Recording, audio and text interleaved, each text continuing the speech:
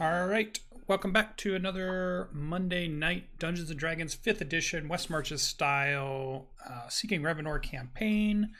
We are ready to jump back in. Uh, if you missed the last episode, you can watch it on the VODs or you can go check it out on YouTube. Although I guess I need to post it on YouTube. I think I forgot to do that so far. So I'll post that uh, in the upcoming day or so so that people can go back and take a look at that. Um, so let's just pick up so we can play some Dungeons and Dragons. Where we left off was you are sitting on a mountain um, that is devoid of vegetation, sitting in the middle of what looks to be like an old crater, maybe hundreds of thousands of years old, thousands of years old, definitely pretty old the sides of the crater wall are definitely overgrown with forest and um, vegetation, but the inside of the crater seems to be pretty barren and um, devoid of any greenery.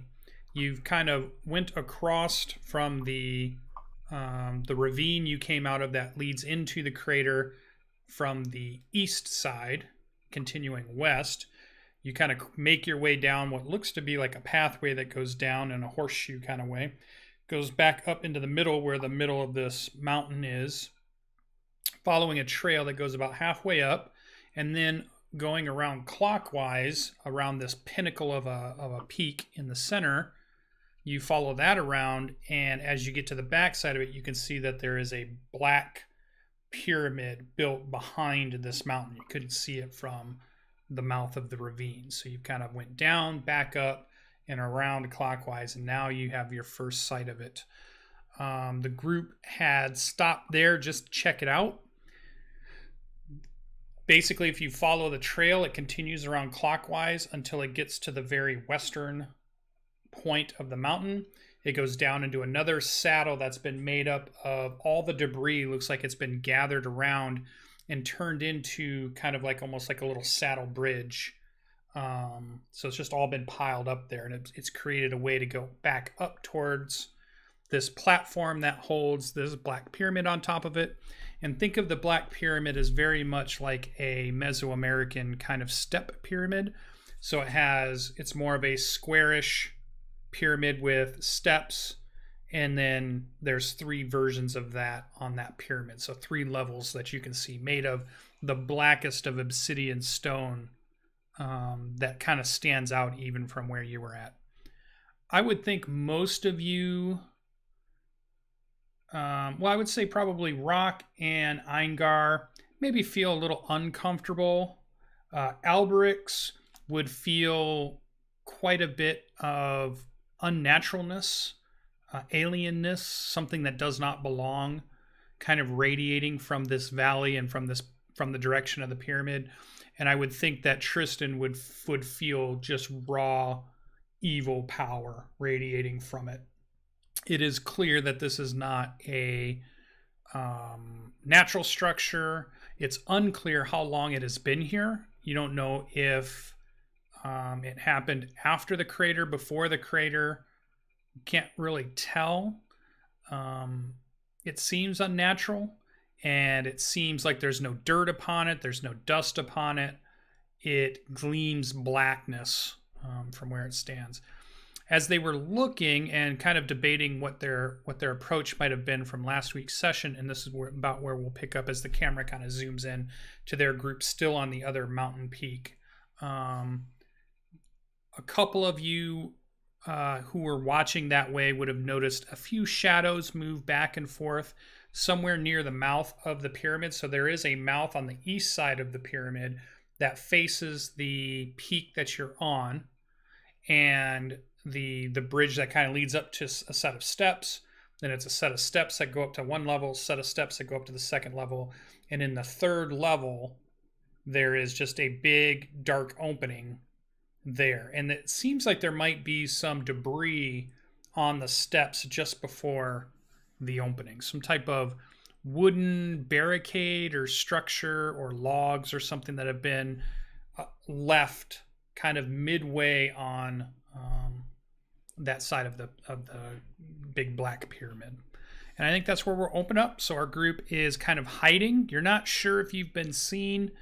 Um, you're pretty far away. You're kind of ducked in behind or standing up against the wall of the the mountain itself. So it's you, you could you know you have a pretty good feeling that maybe you haven't been seen quite yet, but also it looks like there's not a lot of cover to make it from where you are at now to get closer to the pyramid. And it was probably just after midday ish, I think, when we kind of left the episode and you guys were debating your plan.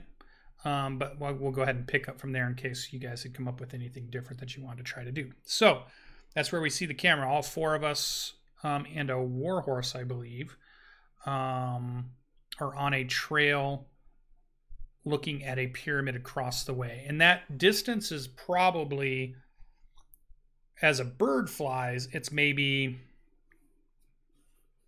I don't know. I'm going to say something like 600 or 700 feet straight, but going down and coming back up, you know, you're looking at maybe double that. Okay. It's like half a mile. Yep. I had a kind of a thought on something we could try to do. Um, what if we were to set up a like a camp that's a fake camp, obviously, back a little bit so they might see some light from it at night and smoke during the day, kind of they send out people to investigate. We ambush them, take any arraignments they have, and then try to come back like we're them. The denizens of this place have no arraignments. They wear only loincloth and carry crude weapons. The gnolls have prepared traps once you've made it into the courtyard. We were caught up and nearly killed the first time we came here. So they are naked and cunning. It's not a bad plan, but it is only half a plan. All right. So we capture some gnolls, skin them, and wear their bodies. yeah, I'm the good guy. Yeah. yeah. The Norkers are who get sent out. All right. Hmm. And they're a little small. How did you approach last time? Right up the front door. How'd that work out? We made it through the barricade and came to them and and a fight ensued. And there are traps inside of there. We were caught up in nets um, and we were nearly killed the first time. Uh, it was only by if i remember correctly timor used the power of his lady to keep them at bay so that we might make our escape and we use the scroll of return so that we might uh, go home. Is that about right, Dan? Uh, yeah, yeah. What the first time you went in? Two uh, assaults. Yeah, you cleared them out, but then you wanted to go back to town. You came back with a teleport scroll. Had to fight a whole nother grouping of them because it took a while before you got back. Um, cleared them out again uh, but then got ran out at the end of that one by some creatures that came up from underneath. Uh, and now it's been months since you've been back here. All all told, I think we've been here three different times. The last time is when a pair of trolls came up from below, and we were forced off of the. Uh, we were forced away from here. So the key is not letting anybody go get reinforcements. Aye, I'd say that's right. We must be careful to not uh, run afoul of any traps that they may have laid for us. Well, and I think two things would be clear to Alberix at this point. It's the idea that this place seems to repopulate if you're gone for several days, up to a week or so, it's almost like you're having to fight. Very similar to what you guys would have experienced at the Abbey, where every time you seemed to come back, it was it had um, tried to reinforce. Also, the second thing with this group is they changed their tactics each time you came back. So the first time you came there, they didn't know what you guys were. The second time you came there, they had the the net trap set up waiting for you. This would be the third time theoretically you're trying to come through the front door, so you don't know what they've set up now. Well, as in the thought, I could cast Sanctuary in every one of us, and we could just walk up there. You can only cast it on one person. Nope. It's not a concentration spell. Oh. But then that's all your spell slots. Well, it's all my first level spell slots. But it Or can get us to the Smite. front door. Uh, I got two second level. What uh, what do we have with the pass without a trace from um, Eingar? Um, it would uh, give us plus 10 on our um, stealth rolls, and it, we wouldn't show any uh, footprints, that sort of thing. And it kind of it kind of brought a misty, black, dark, uh, shadowy mist around us, so we were kind of obscured, I believe, too. I, I like that as a approach versus all your spells. Okay. We could also uh, It's very tactical of you, Rock. get close to one of the spots and I could climb up the side of it in the form of a spider and then lower down ropes for us to maybe approach from an angle that is not the front door. What about that other entrance? Didn't we? Uh, didn't Dan uh, sug- or describe a different entrance that we could kind of see? Just- no, it's like the, the it's like it winds around there, and the entrance is on the east, but we come into the to the west. Now, what I what I do wonder, Lucien, is the way that that goes. Would there are there outcroppings that we might be able to skirt along the side and then, you know, make an approach like I'm describing? Uh, yeah, I think you could do that. Um, let me do a crude drawing here, maybe. Um, so, so mountain. Uh, trail that you guys are on. You guys are up on this trail, east. That way. What are we looking at? Oh, is it not drawn it on the map? I see it. Just Oh, I see. It's on the castle. Got it. goes to here and then there's like a plateau and then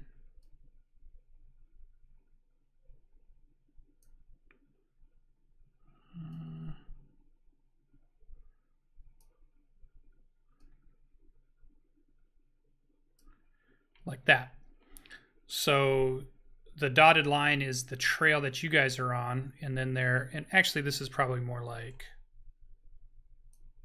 there's a thing that this is all just filled in with all of the rubble that they found. looks like people just grabbed boulders and threw them there. Rocks, boulders, anything they could find and just piled it up until there was more of a bridge between the two.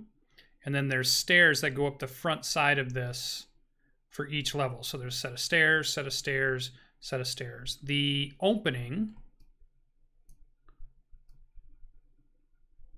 would be at the top, but you don't see any other opening around it.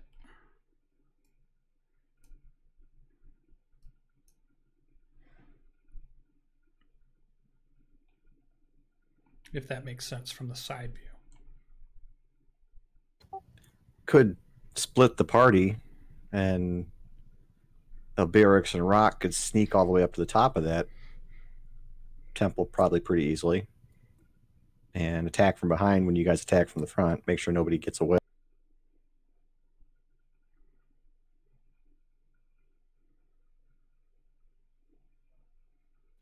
Yeah, I, that's an option. I mean, of the people. Albirix is pretty confident that he can, you know, once turned into a, a spider, can really make it to wherever he needs to. Especially if we waited until, you know, if we waited until dusk to approach, we could do that. This this be like your pro, your uh, attack on the monastery. You went ahead all by yourself and cast that cast that spell. That didn't that didn't work out good. my my timing my timing will be better this time.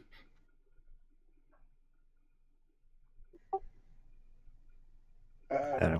It's ugly. It's it's the same problem we had in the last group too. Is that we had a paladin in heavy armor making lots of noise. Yeah, I mean, I guess I could take it off and stow it, but then that's gonna be a problem too. First, how long would it take him to ride up to it, Dan, on his horse? Full gallop or leading it by a, a reins or what? Full gallop. He's a paladin. He didn't walk anywhere. Uh, full gap. I I bet that is probably a less than a minute. Maybe maybe just right around a minute total if he just barreled out there and took off because it's it's wide enough that the horse would have no problem on purchase and it's a war horse. So in my mind those are the types of horses that are trained to even take steps. So i i could see him easily ride it up the steps. So until you got to that barricade that sits up on that third level, it'd be just a straight sprint, and that horse, I'm sure, is fast and and could do it. I mean, if we haven't been spotted and Albirix and Rock can get to the top, then maybe Eingar and uh, A minute is ten rounds. but they don't know he's if they don't know we're here. I mean, how long does it take for them to raise an alarm? Right. I, I assume you mean it? like if something starts to happen, how long will it take for him to get there? You're thinking ten rounds. All right. Would I have to uh, run along behind him or run along ahead before he gets there? Yeah, you'd be much with him, slower, or you'd have to ride with him. If you were going to run it, you would be three to four times longer at least. I mean, I don't even at a run down that hill and back up them stairs. Yeah, it's easily for a person, maybe anywhere from a eight to ten minute run, five, you know, five to ten minute run. I have it on good authority that dwarves are excellent sprinters, not good over long distance. What, what world You is know- that? he could cast pass without trace and we could all get into position and then the oh. paladin could come barreling down there uh, once we give him the signal with the with the little mirror catching the signal mirror and then when they come out to meet him we can bushwhack them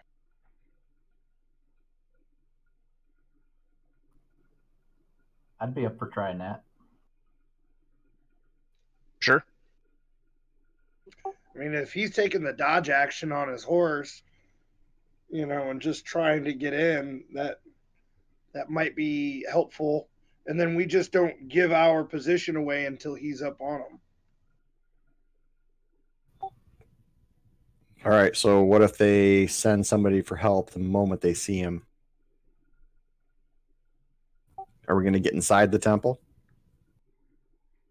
I don't know, man. We might have to get this party started if they send somebody for help.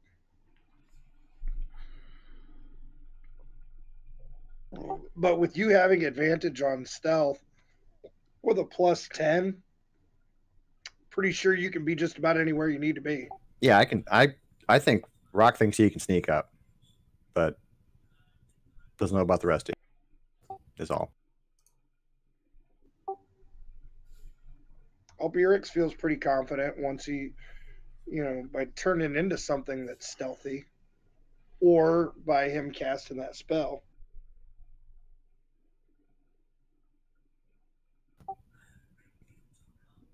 I'm Okay. a stealth. I'm stealthy for a dwarf. That just leaves you, plate wearing pal. I'm fine riding up. I mean, if you guys want to sneak, I can do the frontal charge. That's fine. Now, do bear in mind that this is more than just getting to the thing. There's going to be a lot in there. So we can't blow all of our resources just trying to get in. I, I mean, the other option is we just cast it, cast the pass without trace on the group, and we just walk up, right, and hope the rolls are good. But then Yeah. we haven't split the party. Well, you can still do this. I mean, just cast without trace on everybody, and then because we did last time, right? And then I can just see how far I get on my horse before they notice me when you guys are ready. Well, you still get a plus ten to your to your stealth roll too. So even with disadvantage, it's not awful. Mm-hmm. Right. And are we gonna? Is this is a question for the DM? Is this going to be a group stealth check or individual group st- uh, stealth? Uh, if you're moving as a group, it's a group. If you're somehow splitting up or doing something different, then it'll have to be more individual. Well, let's do it that way. I mean, we'll have pretty good stealth Okay. rolls on average. Do it as a group. Then we've got good rolls on average, right? So even if he tanks, better than average. Right. Yeah, I mean, I, I would I would prefer for us to all stay together because I could see that going poorly.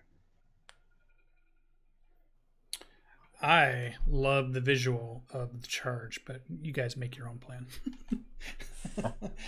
I think the charge is awesome, quite honestly. All right, flip a coin. I'm totally fine just doing it. Let's let's take an us all in at once. Uh, a charge, sure. sure. Let's do the charge. Fuck it. Okay. Okay. uh, Dude, he's gonna get smoked.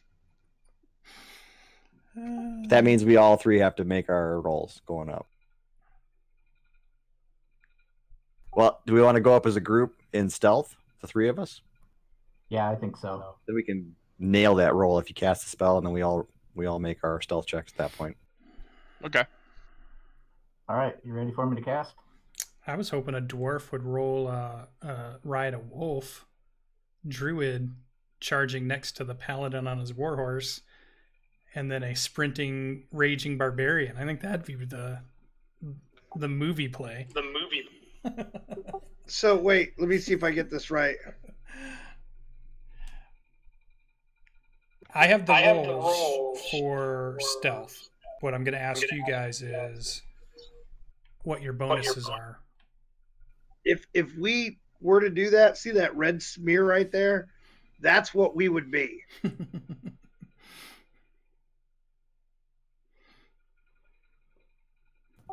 All right, so we're doing three up, one charge.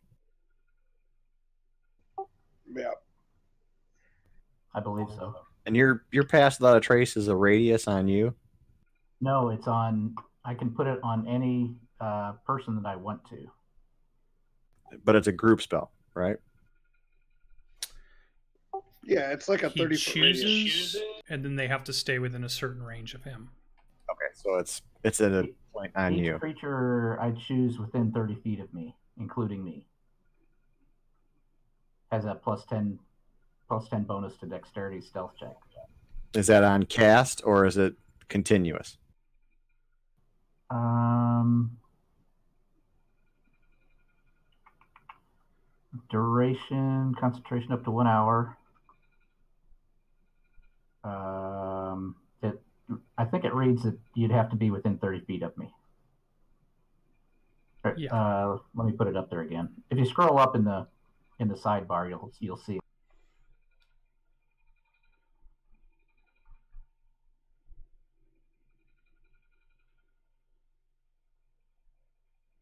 Yeah, it radiates from you. So you would have to stay within 30 feet of me uh, for the duration of the concentration.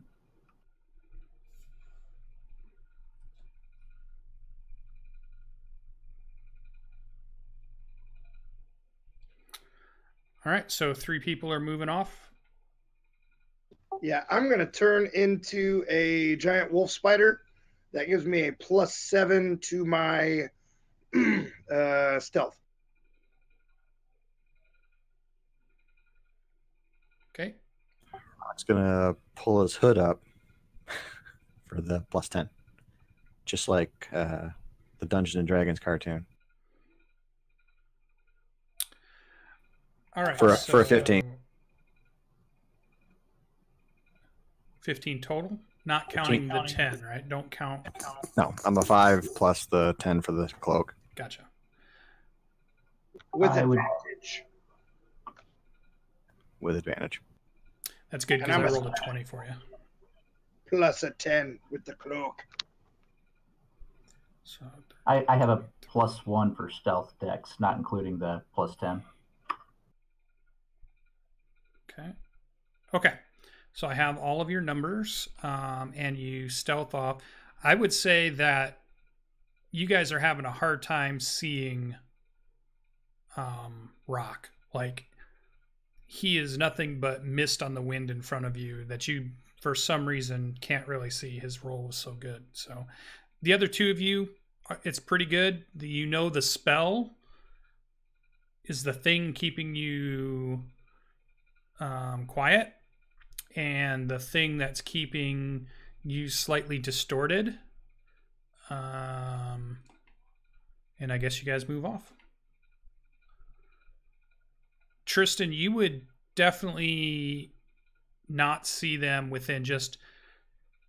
Well, go ahead and make a perception check. How about that? Roll perception.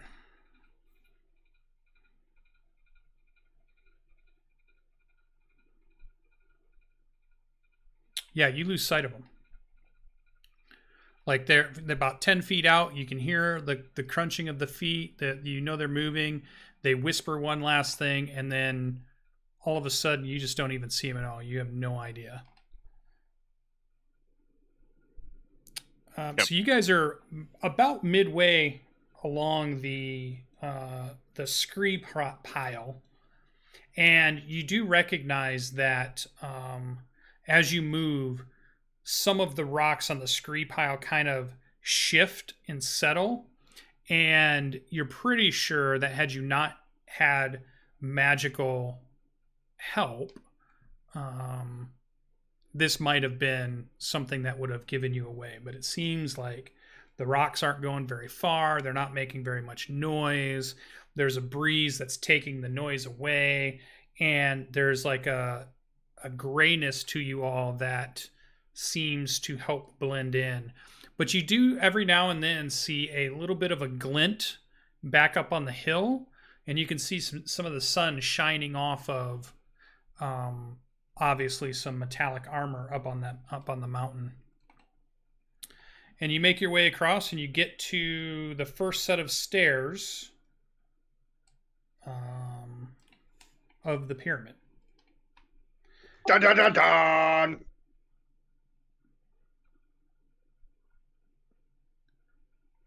What would you like to do? I am gonna skitter I'm- light. So we made it to Keep that following point rock. Yeah. on the.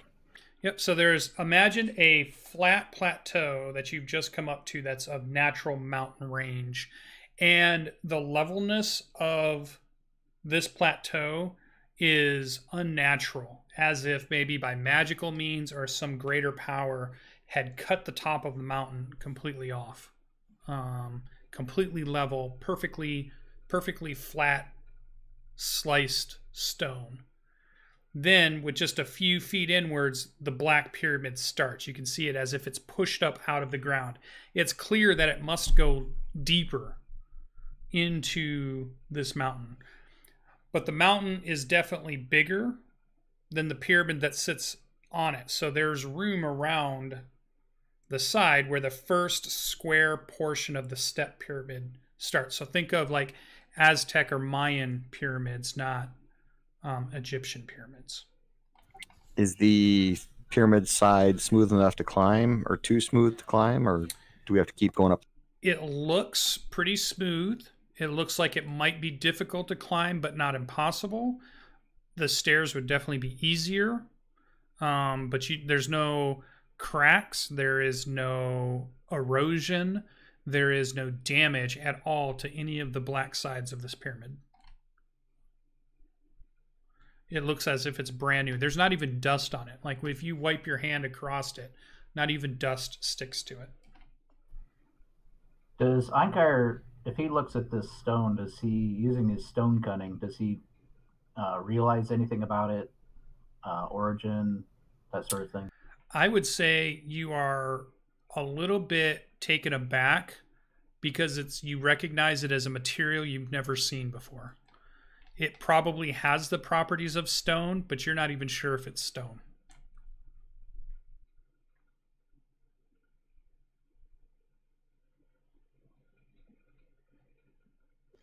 Take the, take the steps. Yeah, rock, rock over up the stairs. I'm gonna stay within the 30 feet, but I'm gonna kind of angle myself along the wall and climb to stay hid. Okay.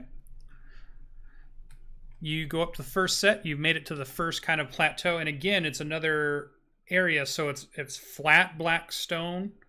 Um, it's almost like a little lip, almost like a um, kind of a flat surface before it goes to the next step of the pyramid, and then there's another new set of stairs that go up the second level. So you guys are now at the second level steps. No sign of anybody at this point. I'd like to kind of stop and use my spidey sense. Sure, you can go ahead and make a perception check.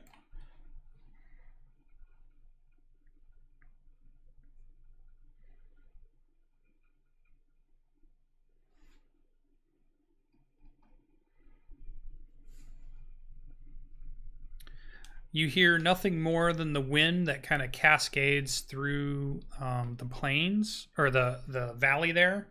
And you kind of pick up um, Eingar, and you still are having a very hard time seeing Rock. You're not you you almost question yourself and think maybe Rock didn't make it with you.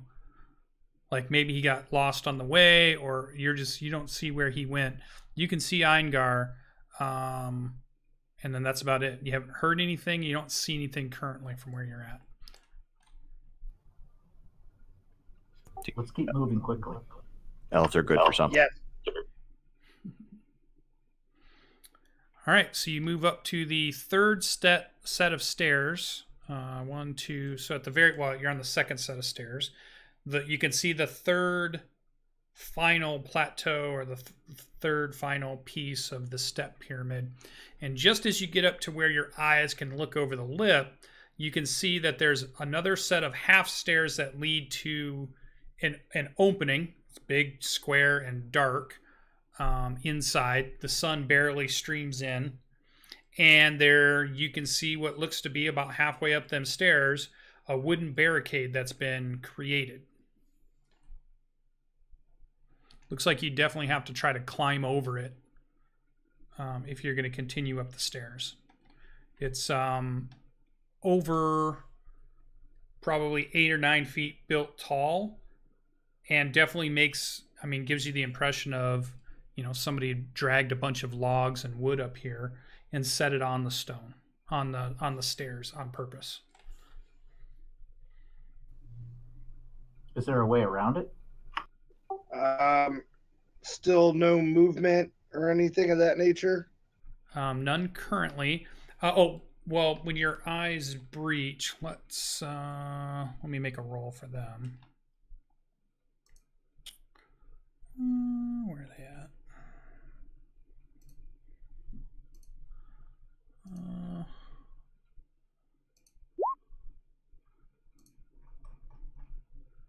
okay.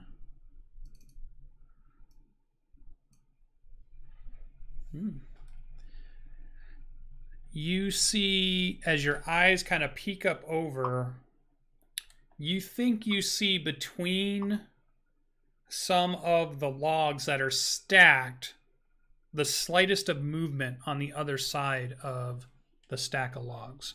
But it's brief and faint, and you get no real detail from it, but there's something there. To answer Eingar's question, so you're looking up at the stairs, looking up kind of next to Alberix. To your side is just sheer, probably, I don't know, maybe like a 30 degree flat side of a pyramid. If you go to the very top of the steps, you could move around. There's there's enough of a lip to move around the um, the the final part, the final top piece. Um, but you'd have to get up to the to the end of the stairs, and then you could try to look around that very top piece. So think of it. I'll draw another. Let me give you one more drawing here. I'll do a different color so you can see a little better. Uh, be black, freehand, and let's let the group see here. I wish we had taken a long rest before we did this.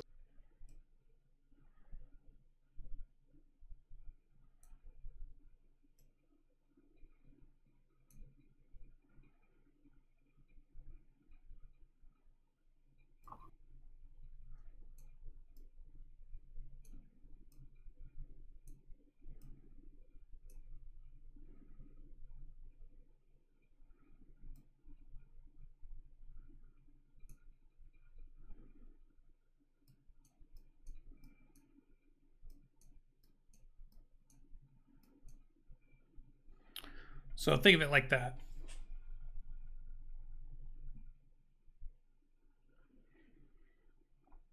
And uh, that's where the barricade is. Correct. Correct.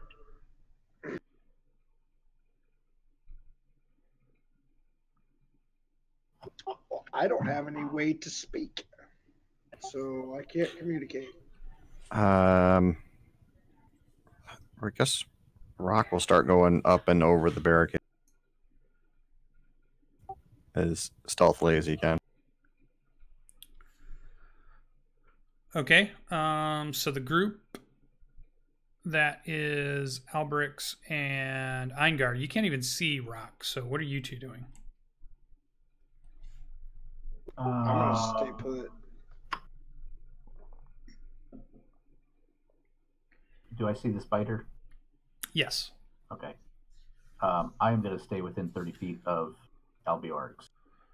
So Okay. if he's going up and over, I am going to try and going up and up and over and kind of peek over also. So you're staying right on the wall or the stairs, Alberix? Um, so I don't see Rock go over the thing, do we? You don't see him move forward. He is super stealthed. If he is, if he is uh, stealthy by my um, spell, would I know where he is? Because I would, I would know. I think normally, but he got a natural 20 plus all of the bonuses. So to me, he's he's practically invisible at the moment. Okay. Normally, you would be right. Normally, you would know each you, each other where you were. You'd hear little breathing. You would hear the slightest of steps. Um, your vision would be obscured, but you might still be able to realize there was somebody there. Although, if it's a group of people, in my mind, you may not recognize. Like, say you have five people with you, you may not know who's in what spot, but you know that there's five blobs around you, give or take. Um, is the way I kind of imagine that happening. But he rolled so well. I'm just saying that you guys are not even seeing him. I mean, it's like it's like he's a ghost. 35. Yeah, Yeah. it's like an enormous number. Um, I'm gonna sit there and listen. Try to listen to hear if I can hear anything. After uh, 30 seconds or so, and then I'm gonna start to to get a better view of what's going on. Okay.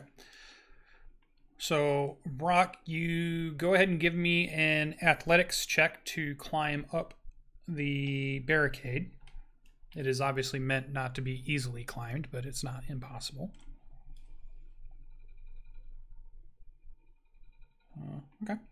So you kind of are moving up and you're you're maintaining your stealth. You're you're going slow enough that um, you're kind of sneaking up on them. And as you're climbing up, um, you hear the the shuffling of feet a little bit, and maybe the scrape of wood on stone for a second, and then you kind of pause, and then and then you don't hear anything else, and then so another second or two goes by, and you get to the top, and as you get to the top, you're looking over the barricade, you can see two um, ruddy gray creatures that are about four feet tall or so.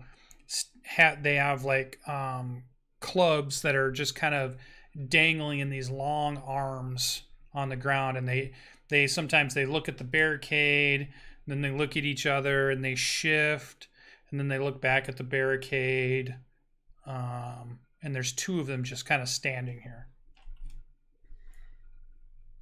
Can I get down and pass them? maybe You can try. I will try. Do you want another athletics or stealth? Uh, nope, nope. So you kind of move down the the edge, and it just seems like it's serendipity that one is looking just one way and one's kind of looking back up in the pyramid. So you kind of take that moment um, to slip by kind of one of them, and one paces over to the other one for a second. They trade something in their hands, and that gives you a chance to kind of move a little bit further in, and the other one takes its position back, and it's kind of they're both back to looking at um, the barricade again a little bit, and you kind of start to move a little bit further into the um, pyramid. And what is Alberix and Eingar doing?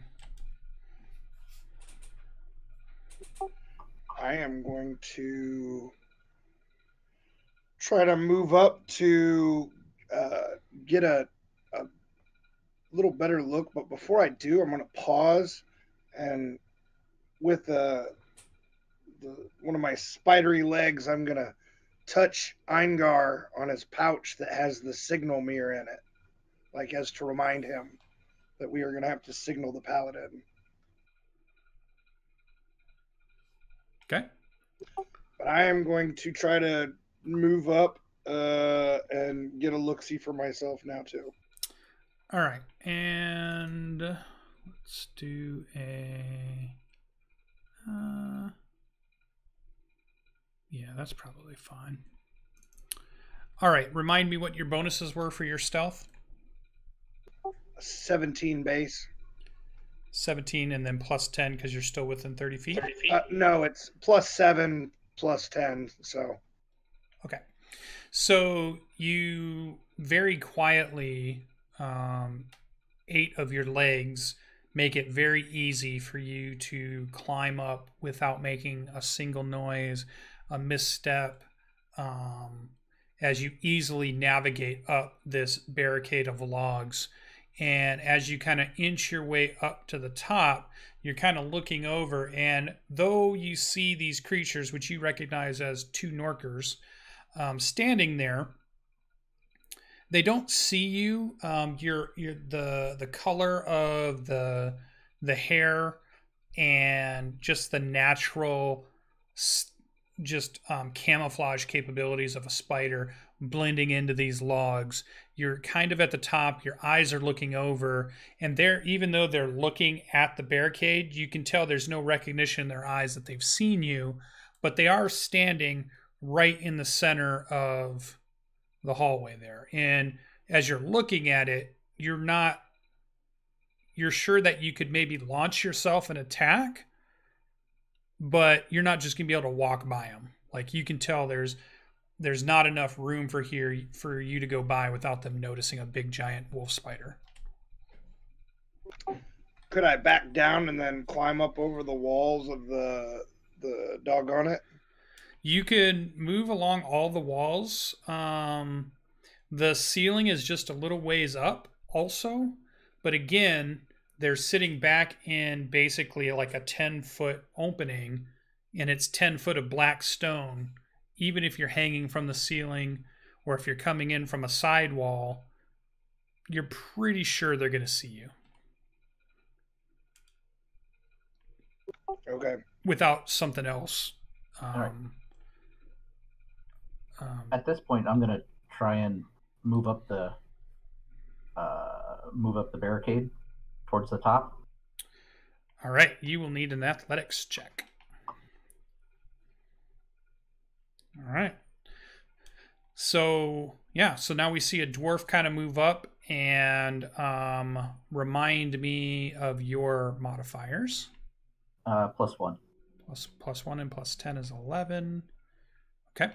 So you move your way up, and I think there's like a soft noise. In Alberix, you kind of look quickly as you see um, Eingar coming up and then you shift your vision back over to the Norkers, and it doesn't look like they've reacted to the noise. And then you've uh, Eingar has climbed his way up high enough that your eyes can look over the top of the barricade, and you too see now what appear to be, as described to you by Alberix, two Norker creatures, which are these gray-skinned, um, long-armed, holding clubs, and they have like lo- loincloths on, and um, a big kind of protruding face, um, kind of the um, Cro-Magnon like um, foreheads on them. Very kind of primitive looking creature. Two of them Um, standing in the um, the this hallway that leads into the darkness of this pyramid. I want to duck just down enough so they can't see me. I'm gonna I want to quietly pull out my mirror and flash it to uh, Tristan to give him the signal to to take off. All right, so we have you kind of digging into your pouch. Um, rock. What are you doing? So, the way the sun is shining in to this pyramid, it's darkness and it's messing with what you can see, but you've moved a little bit further in from where they are. I'm gonna go over to my map so I describe it correctly to you. There we go. All right. Um, you get into the portion and your eyes begin to adjust. And what you see in front of you is a completely dark interior pyramid, black stone, black columns. Um, interspersed, you see what look to be like crates and barrels um, scattered about in this large room you can see let's see your vision's about 60 feet right Yeah. Just at the end of your vision you think you see a set of stairs that lead down at the back of this open expansive room and you can definitely hear several probably up to a, a dozen or so either breathing or moving or shifting creatures somewhere near you, though the walls kind of block what you can see. And then further in, you can actually see the forms of other creatures. Um, you would recognize them as gnolls that seem to be gathered in a group, and um, there's like two little packs of them, and they look like they are either talking amongst themselves um, a couple of them are probably eating. Um, some of them are, you know, doing other things, but they're all kind of just in the back of the pyramid. This big open room. And the room that you're in is probably 80 to 90 feet long total. I'll make sure that I'm not silhouetted against the uh, entrance, and I'll get up to the wall and get my axe out. Okay. and wait. All right. So let's go ahead and take our first break of the evening. Maybe our only break. We'll see. Uh, we'll take a quick 10 minute. I will go ahead and put the players on the map so they have a little bit better idea. And we will signal for the paladin to make his epic entrance and see what happens when we come back. So don't go away. We're about to charge ahead to the Black Pyramid and start a big old brouhaha of some sort. So it should be fun. Um, so stay tuned and we'll be right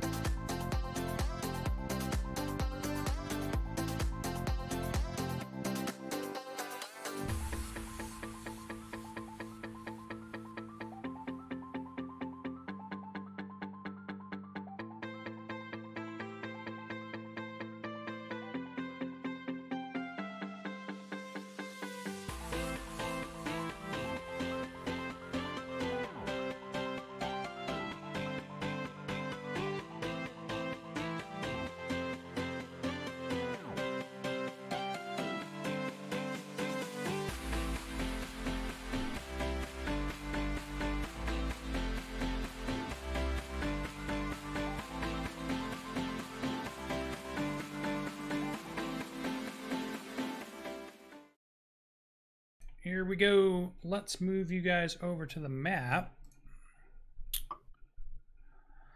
Um, Tristan. So before I actually I move you guys to the map, um, you see a signal mirror flashing back towards you from the pyramid. All right. Then what I'm going to do is move as fast as I can and still do a dodge action every turn while I approach. Yeah. All right. So we see you kind of a full gallop racing down this kind of scree pile, um, charging, and we can just hear the the thunder of the hooves. All of you that are on the barricade and even inside the pyramid can hear the thunder of hooves pretty quickly. So you hear um, it approaching, and it's getting louder as he's making his way across the bridge. the bridge. I, I'm going to uh, kind of peek over the, the barrier, and as he's coming forward, I'm going to see if there's a chance to slip over unnoticed and in in off kind of off to the side. All right, so you you start to look over and you see two of the Norkers climbing the barricade towards you. I want to shift to the side of the barricade or to one end that they are not on, if I can. Yeah, they're they're kind of on each end of it, starting to Can climb up. Can I go up through the middle and and You're pretty sure they would see you. ah, uh, I'm gonna go back down and try to go towards the end of the bar- barricade, see if I can go around without them noticing. Okay. Um, Wolf Spider, what are you doing? I'm going to transfer over to the wall of the pyramid and start climbing around the backside of that pyramid wall so that I can be up on that that little edgy. So you want to make it up to the top? So so on the one side there's the slanted portion of the pyramid, right? Here, let me do Uh, this. Here, let me do this.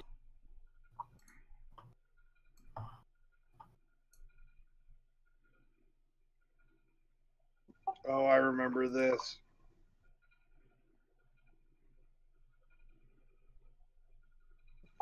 So this thing to the left is wall, correct? Correct. And what is this right here? That's a wall. Oh, so then it's up into the roof. So I'm basically, I was under the impression that there was, um, uh, that this was open out here, that I could be on the outside of it. You could, you can climb around, but it's definitely a wall that goes straight up. So this entrance pushes out of the top of the pyramid. It's a big square 20 foot opening that pushes out of the sloped pyramid. I gotcha. Um, if that's my only avenue, because I want to skitter out of their way, and and position myself not right there.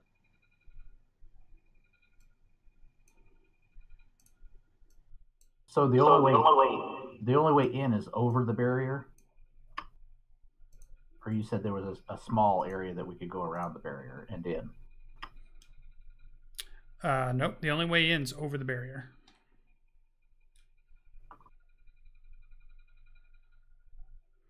And So these guys are more like here now.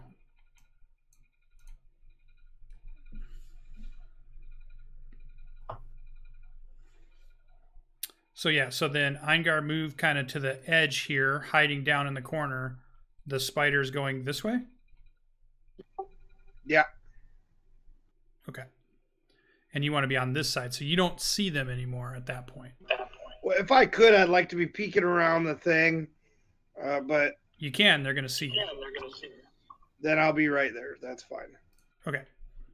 So you're on that side. So their heads kind of peek up over the barricade. And just as they're kind of peeking up and over, we hear the shotted hooves hit the stone of the pyramid stairs. and the sound of the hooves change from like a, a galloping on ground and rock and um, dirt to a loud metallic kind of clacking of um, the stairs and him just taking you know probably like eight or ten stairs at a time as it's just bursting with uh, energy up the staircase. And just it's like a you know a trained experienced horse is able to navigate this. And it's just it's getting louder and louder and louder. And as that's happening he's about halfway up. This Norker turns and begins to run back in. Same with this one. What are you doing, Rock? We'll intercept, I guess. Okay.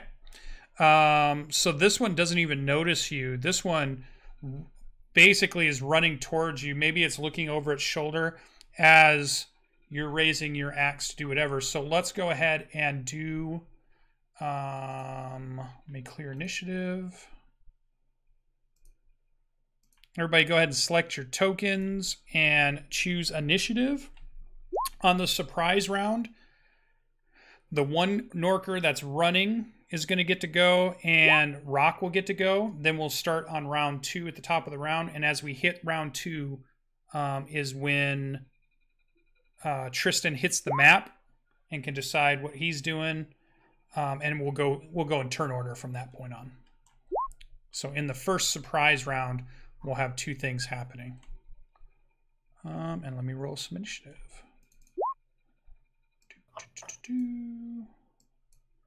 Public. Norker. This guy. Norker. And that's all we need for now. So let's go ahead and descending. All right, so in the surprise round, Rock, you are moving out of stealth, so you're going to get advantage. He had no idea you were there on this attack um, as you kind of dematerialize out of the darkness. Now, there's a little bit of dim light where you are standing and he's moving into the dim light. The sunshine kind of stops about this area. So, from the rest of the area on inside, it's completely dark. There is no lighting at all inside the pyramid. So, Rock, you are up. You get a surprise turn round. Uh, okay. He is going to uh, enter a quiet rage without a uh, his normal scream and attack that. Okay. So, bonus action rage, and uh, you get advantage on the first attack coming out of stealth.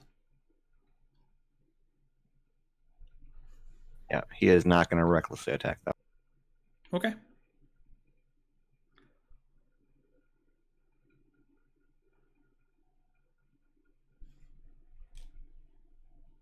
Oh, I'm checking.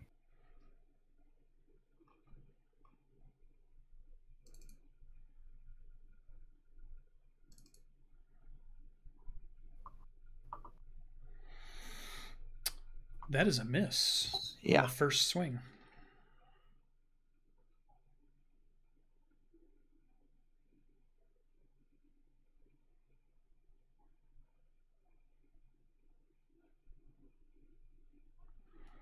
So the axe um, kind of swishes by. Second axe hits as you kind of pull it as a backhand um, as you were just off when you swung at him. And 12, 14 total.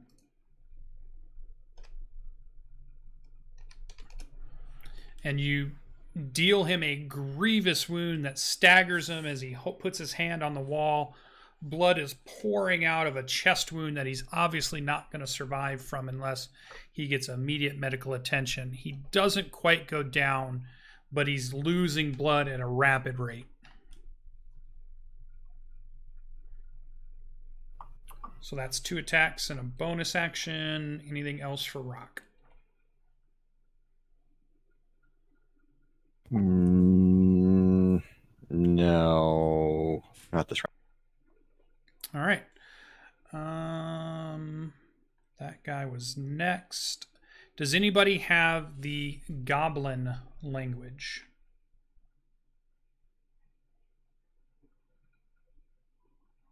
I do not. Seeing a I lot of do. I do. The orc knows goblin. All right, let's go back to the battle map here for our audience. There we go. Let's zoom in for them. There we go. All right, so you hear this Norker um, in a in a goblin voice say, um, "We're under attack." He yells it out. The spider and our dwarf probably just hear a garbled kind of guttural language shout. Um, I would imagine that Tristan, you don't hear anything over the thundering of the warhorse hooves as you are approaching quickly a barricade um, in front of you on some stairs. So his turn is to shout, and he moves to a position here and then looks over only then realizing that there's an orc already in the hallway and there's a guy fighting. His whole turn was to get into position and yell the alarm. That is all his turn. So then um, the only other person that would have a move on the surprise round is the guy who's going to try to attack. Uh, no, he's surprised, so he doesn't even get to go. So now we're going to go to actual rounds here.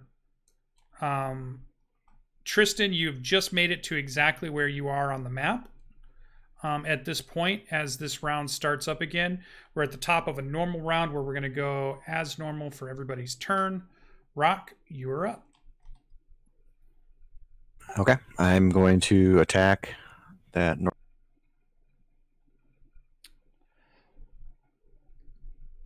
Okay. As your axe descends, he throws his stone like club up, and your axe clangs against his club.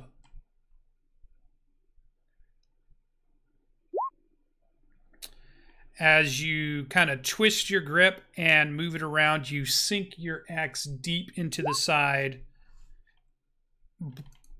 opening up another ghastly wound, and then smashing him against the, the wall and we hear the crunch of bone. And as you pull your axe free, the body slumps to the ground.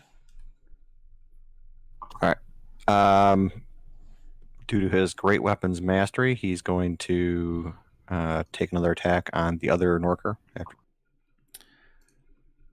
Uh, okay. Now, let me give you uh, some vision here. Thank you. Um, hill areas. So go ahead and start to move so I know where you're going. I was going to go to there first.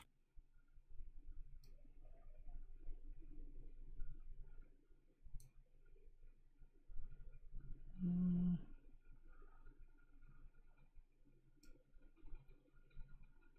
Uh, don't have vision on. There we go. Perfect. You see a group of, of Norkers beginning to get up. You hear noise behind you, and you hear noise further inside the pyramid. There's a lot of moving of bodies and a lot of scraping of um, things grabbing weapons and shields and the clink of armor and that kind of stuff, all reverberating around as everything is starting to move. Um, oh, actually, let me give these guys a initiative. Um, Are the crates and barrels there enough to give cover?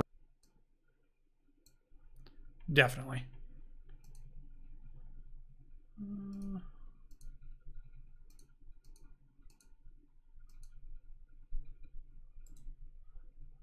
Let's send that to the back. How about like that? No.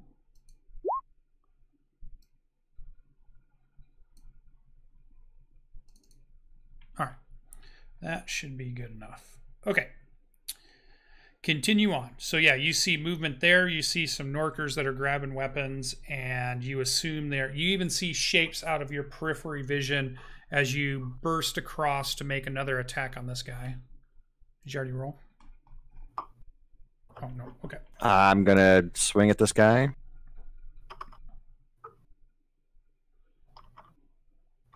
Uh, one more roll. All right. So you can see that he tries to um, be really defensive, but your your axe finds a uh, is just too fast for him to block as you sink it into him for ten damage. And after that, that was 15 feet of movement. Okay.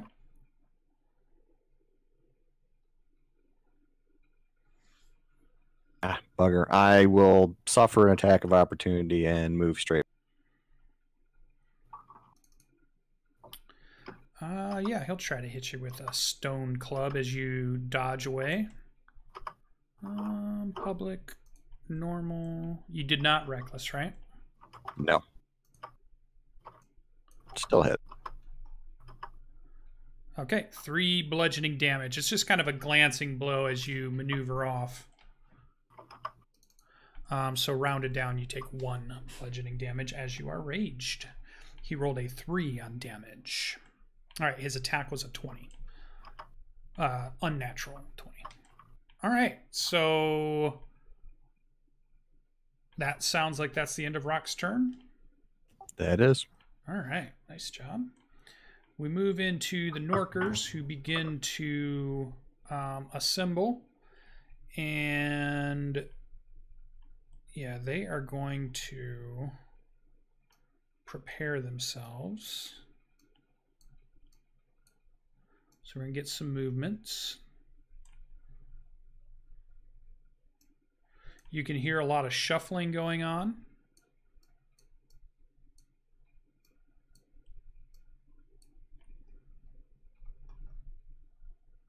And that is their turn. Uh, the Gnolls get to go. Rolled pretty well. So, yeah, they're kind of behind what looks to be like um, bags, uh, like burlap bags that have been stacked. And there's a lot of them. Um, let's see who's going to have vision on you, though. Uh, not the ones on the right. They don't have any line of sight to our barbarians, so they won't do anything there. But what about this guy?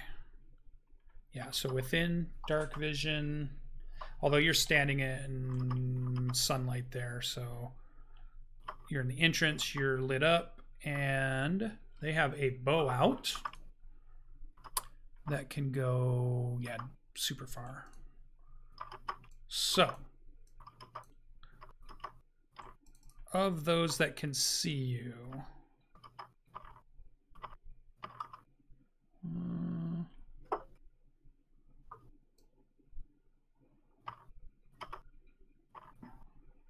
yeah, that group can see you. So a bunch of arrows come flying at Rock. So the first one fires off two arrows, normal, no advantage. Uh, ooh, first arrow is a crit for 10 piercing damage. Second one, arrow smashes against the pyramid wall. Next guy goes two arrows. Uh, 10 arrow smashes into the wall. We hear just this thump, thump, thump, thump, thump. Uh, 20, I assume that beats your AC? Yep. For four piercing damage. The guy next to him, two arrow shots. Uh, 13 and a 12. I assume those miss? Miss. Yep. So two more arrows smash into and break as they hit, and they just shatter. They don't stick into it. They don't glance off. The arrows just shatter when they impact this stone black obsidian. Um, that's three of them. There's two left. Eight and a six. They don't have a good shot on you. They were just getting up. They just are shooting arrows, almost basically more just at the entrance more than they're aiming, and they miss. The last one tries to hit you. Uh, 17 is the best hit. 17 hits. 17 hits, rolls an 8 for piercing. So a few arrows stick into our barbarian.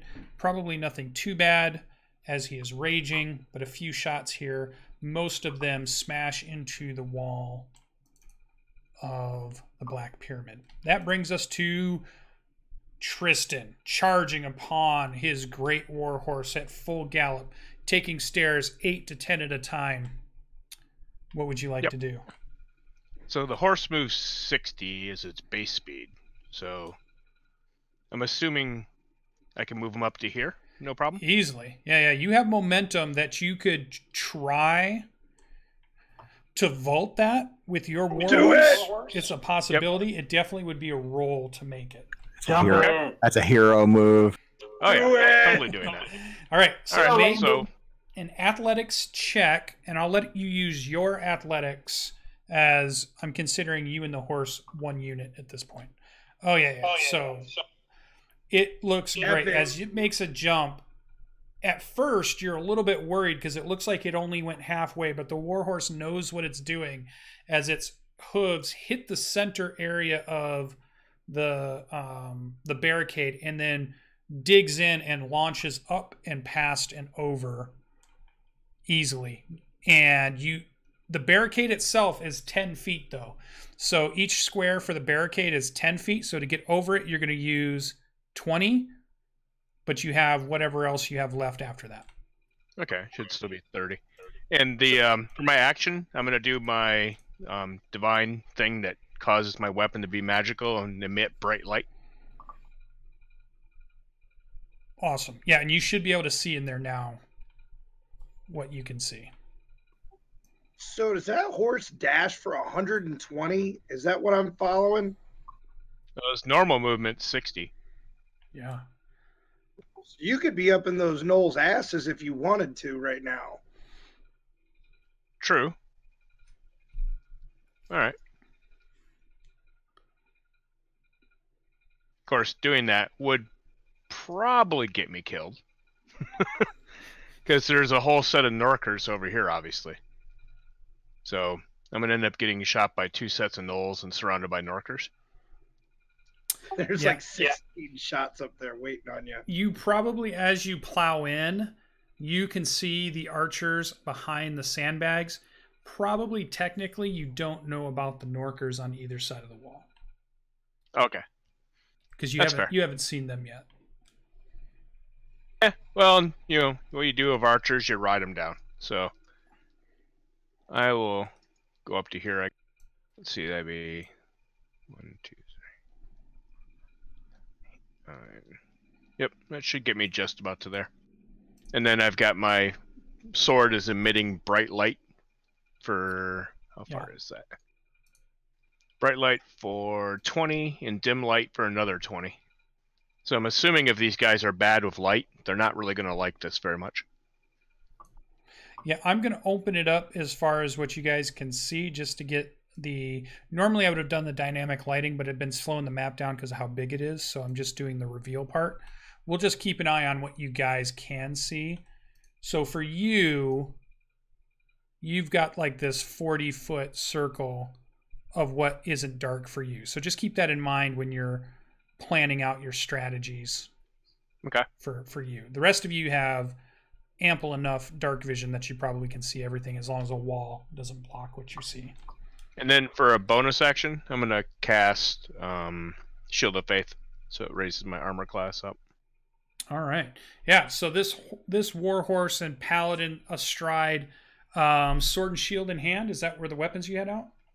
Yep. Sword and shield in hand, weapon begins to glow bright um thundering inside here as and the gnolls are just you've seen that they are turning to react and just you've just burst in on them so there's shock and surprise and and snarling fear in the eyes and they're they're almost biting at the air like with fear bites as you're getting closer as you bear down on them All right. So Cool. super cool entrance for Tristan. Anything else?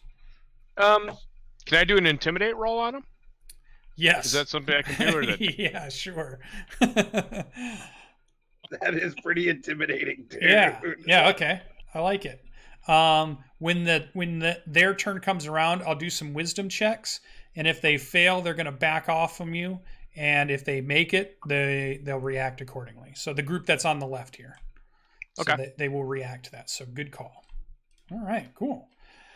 Wolf Spider Alberix, what would you like to do? All right. Now you're halfway up a wall, so keep that in mind. All right. I saw him go flying past as his sword lit up and he jumped over that thing. And I hear the, the calamity that, that happens. And I am going The first thing you think is Timor never did that. That's cold as ice.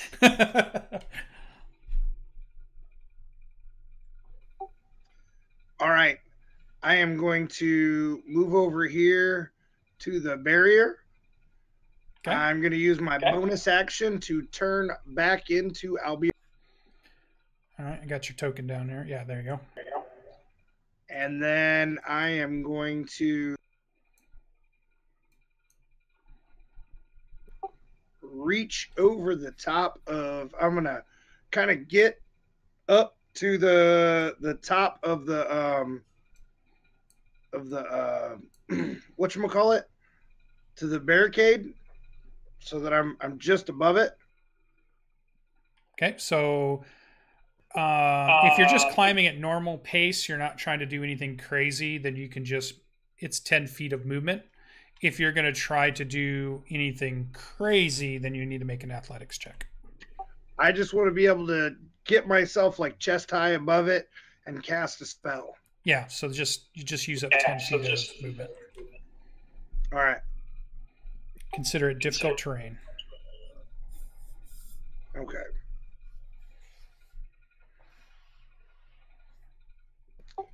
So I am going to cast Conjure Animals. Sweet.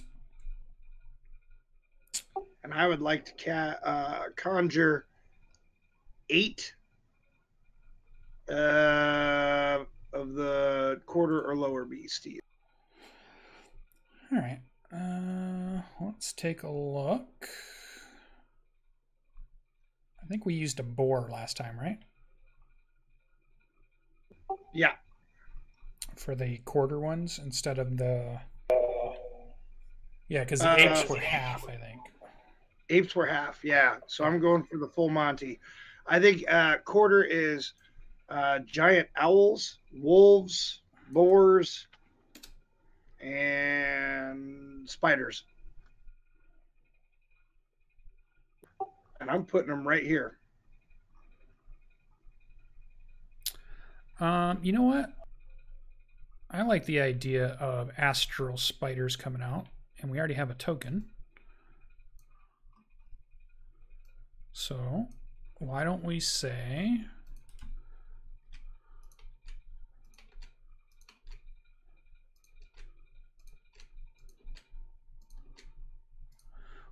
eight spiders appear. Sweet. Now, do we have a? Um, go ahead and roll a wolf spider initiative for me, and I'll add them to the tracker. If it doesn't itself. Oh no, it looks like because you're a twelve, right? Yours was twelve. Right.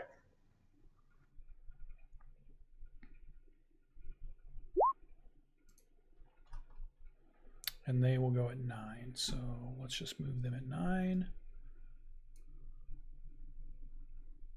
All right. Uh, all right. Can you move them slightly? Just move one to see if it'll move. Oh, yeah. Okay, cool. Um, I didn't fill out any of their hit points, but you can put them in the little red bubble for the tokens. I'm on it right now. All right, Um, anything else for our druid who is at the barricade? So you would be here on the barricade. Uh, yeah, I'm gonna, I'm gonna uh, command them to attack the gnolls, and uh, that is going to be my turn as I duck back down behind the barricade. All right, you'll get some cover from the barricade there.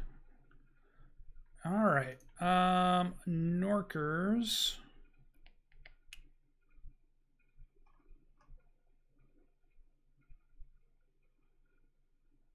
Uh, all right, yeah. So you hear in Goblin, um, you hear one yell out to the barricade, and they kind of start to stream around the corner here.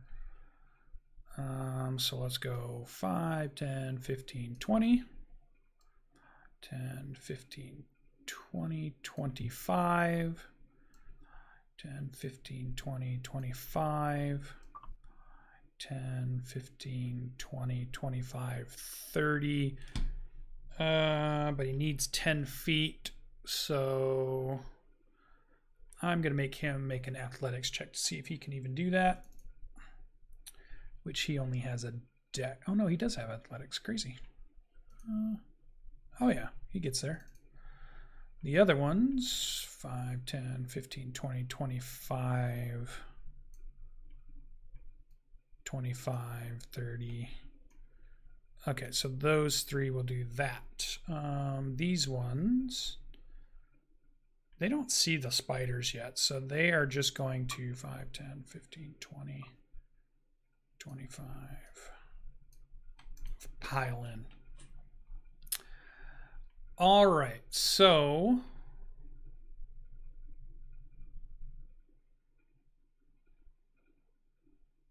Uh,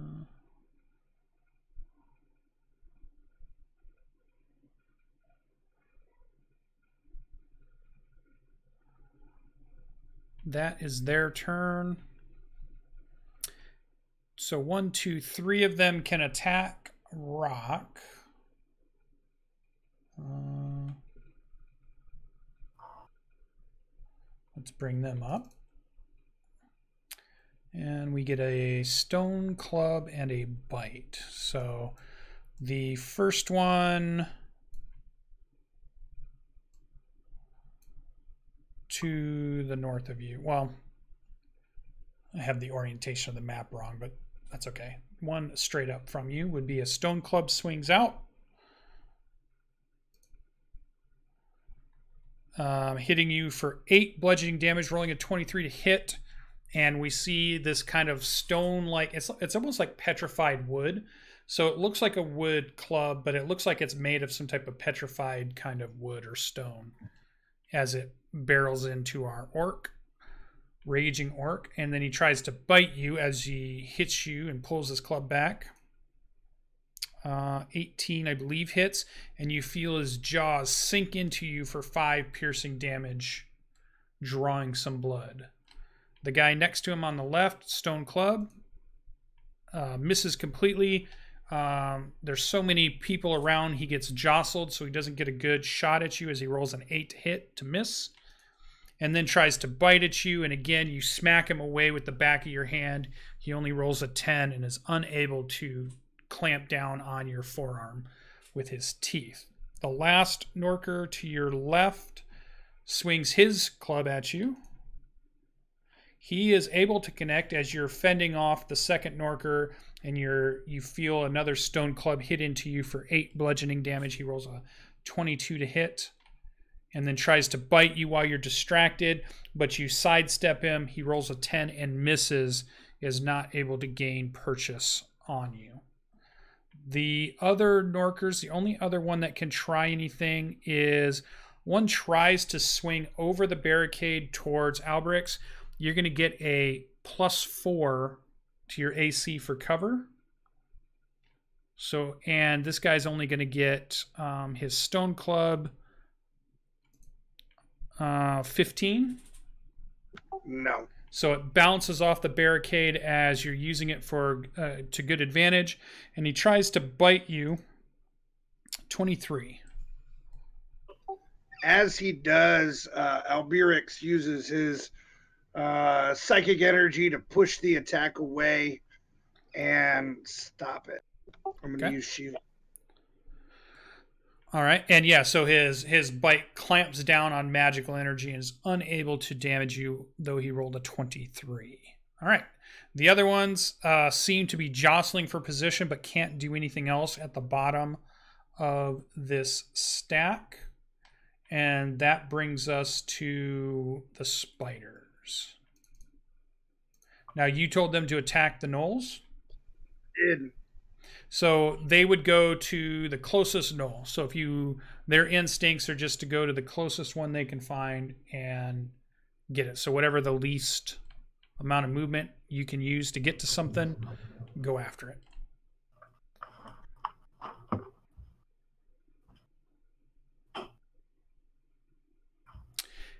Um, and they probably would even gang up too if they could.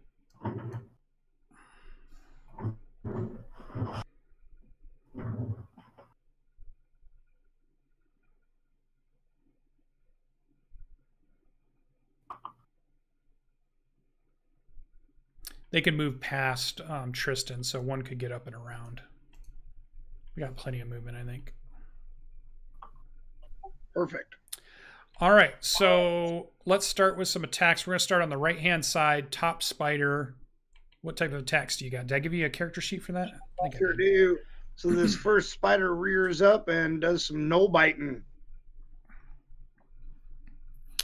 Rolls a 19, which is definitely good enough to get through this Gnoll's armor.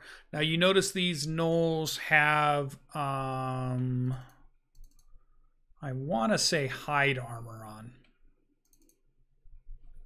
Okay. 19 would hit, so it's 5 piercing damage and 10 poison for sh. Um, let's see, let's read Make this. a con save. Oh, yeah, he's got to make a con save first. Okay. So let's keep that character sheet open. Let's do a con save. So he misses that, so he'll take the full damage. All right. So a total of 15 on that guy. Now he's not dead, but nearly dead.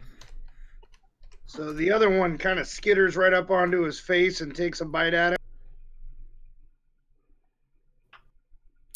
14 hits. Oh no, 14 misses. Does not get through the armor. All right. And then uh, the one underneath him is going to bite. Yep. That one does hit. He rolls a con save again. Makes the con save. He will take half of the poison damage, but four, five, six. Oh, he's at one hit point. Oh no. All right. And then the last one is going to bite him too. And miss. All right. Uh, left side, starting with the very top one. Top one's going to bite. Uh, the one right in front of Tristan. Yep. 16 hits for three. Here's a con check. He Uh, passes that, so seven points of damage. Okay. The one below Tristan, yep. one below the gnoll. That's a crit for uh, 22 points of damage. Oh, and he rolls a one for the con check. Bleh.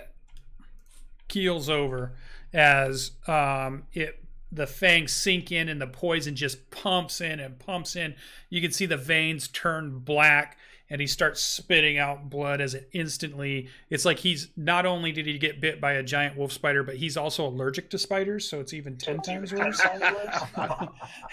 and he just falls over in a nasty mess. As this spider pulls its fangs out, it's going to squirrel over the top of him and move to the back side over here and kind of nestle down in these blankets, getting ready to attack again. Okay. And then final one is going to attack this guy right here. And he misses. One, two, and you still have one more attack. The one you moved um, hadn't attacked yet. Uh, no, that was the one who attacked. That was all of them. That was the one who killed him. No, I'm seeing an 11, a 23, and a 5. Right? Oh, the I guess- 16, the 11. Yeah, the 16 hit. Gotcha. Okay, cool. No uh spiders are done. That brings us to So just as a curiosity, with the spiders in particular, so the gnolls get to see me jump over a barricade, have a flaming sword, and scare them. They get attacked by weird ass spiders that kill one of their friends in a spitting horrible mess. So I assume that they're not stable at this point. Mhm. Yeah, yeah, like worst day for them for sure. Well, think of it was turned around, Tom, like a giant knight Oh, on horse I'd be charged you and four spiders. yeah. I'd be setting my own house on fire and running away. You don't even need a knight in that situation. Four giant spiders would chase Tom right out of his. Yep. yeah, I'd be Yeah, gone. yeah. There'd be flames being thrown back into the house. You know, yeah, yeah, forget this thing. it- It can yeah, stay. no. Eingar is up. All right. I believe I saw the uh, Norker attack. You can you can see them through um, kind of the the gaps. Not enough that you can attack or anything, but you can see movement. You can see the swinging of a a big orc axe on the other side. You know Rock is over on the other side. You can see Alberix's to your left. You lost sight of Tristan as he magnificently leaped over the barricade and rode inside. That's about what you see at the moment. And I believe I'm still stealth. Sure. Yeah, they don't know Um, you're there yet. I am going to try and get up next to Alberix hmm and uh, um, hopefully get a surprise attack on this guy. Yeah, the first one would be he wouldn't know you were there. Okay. And uh, short sword 21 hits. For seven, and then second shot with the short sword. So as he's recoiling from um, your first attack, which was the 21 that hit for seven piercing damage, then the 12, um, he's able to move his stone club in the way as he's reacting to your sudden appearance next to him, and you do no damage. And I'll use my bonus action with the battle axe. Ah, and so you chop some of the barricade as again it shifts and what's you're, you're, you could tell you're having trouble because you're kind of both fighting over a barricade and it's not good footing it's not good flat ground and you're having trouble maneuvering on the guy as you miss Okay. anything else for eingar Nope, I'm gonna keep the height advantage that I have. all right rock is up surrounded by green grayish skinned norkers All right. He uh, realizes the situation is now uh, fully uh, developed, so he will uh, develop that uh, pale blue light in his eyes will kind of light up, and he will attack recklessly Ooh, nice. um, with his great weapons. Uh, is are any of the three around him wounded? The one above you is Okay. severely wounded. Uh, the rest look pretty hale so far. He's going to attack the one uh, directly to his left. So the wounded one is straight up. The other ones all around you are fine. So you want to attack the one to the left, is what you said? Yep. Okay. So the 21 hits because you have advantage attacking recklessly. Ooh. for 21 points of damage. just cleaves him in half and he crashes to the ground. yes. Um, I don't have. Do I have to take the bonus attack right off the bat, or can I hold that? It's going to be three attacks for me this round, then. Or do I have to take it right now? It's part of the round. Yeah, I think it's part of it's part of the attack you just did. All right, so he will cleave through one, and on his return swing, this will be his bonus great weapons attack. Then I'm to the north and west. Okay. 19 hits. 25. Yep, crashes Hey. through him. You- You're laughing at this. You remember Rom doing like 40 points of damage in a round on these guys? Oh, yeah. third- We still got our asses kicked. All right. And then his final attack will go to the one of the Okay.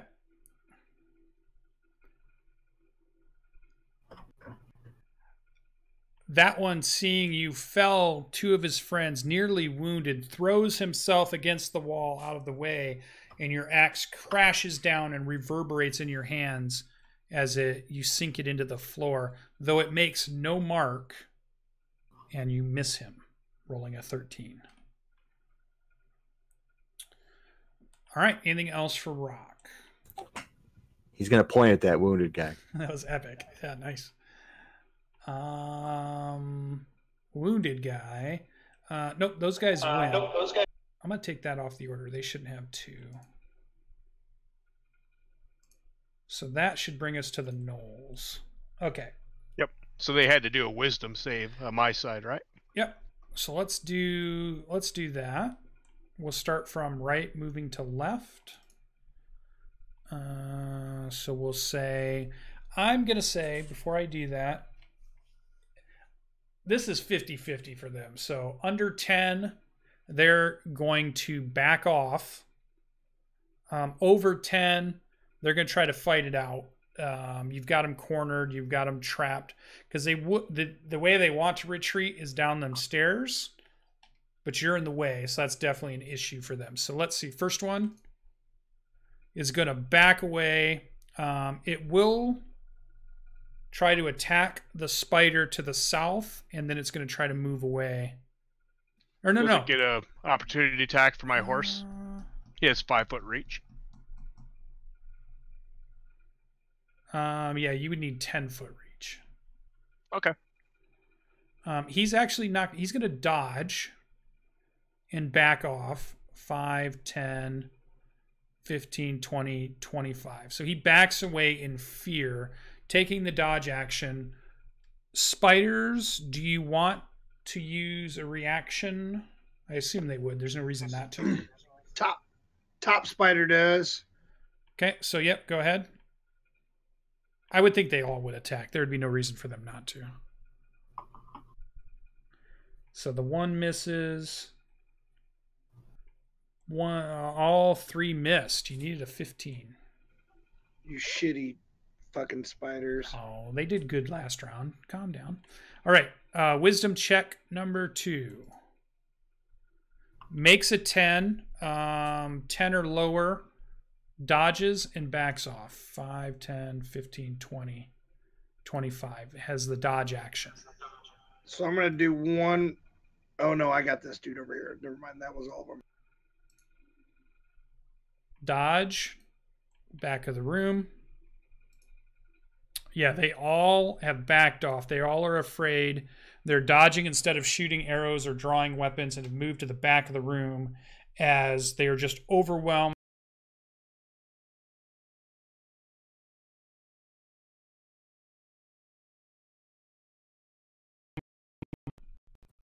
Seems that way. He's back. Oh, he's back. Oh, there we go. Sorry. A little lag.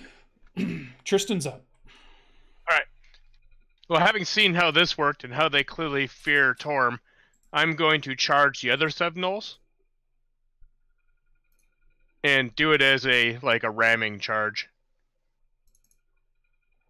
kind of thing for here, I guess, or around the spider or whatever needs to happen there. I guess. Sickar Ramrod. Okay. And I'm trying to find my. There he is. So there's something with they charge at least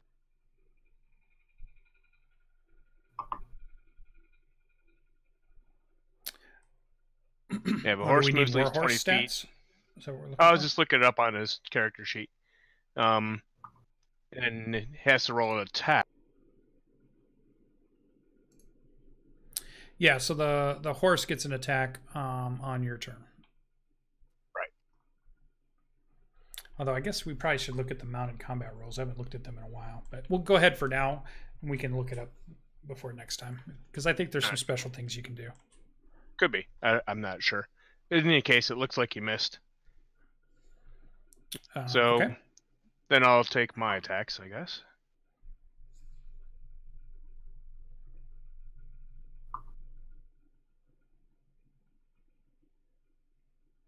Oh, and you know, actually, their turn wasn't done, but go ahead and continue. I'll let you. I'll let you keep going.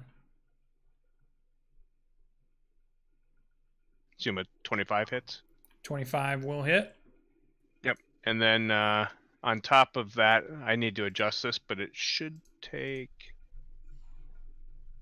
Uh, nope, I got it right. So it's 13 damage on the first hit. Yeah, that guy's gonna go down. All right. I'll move a little more.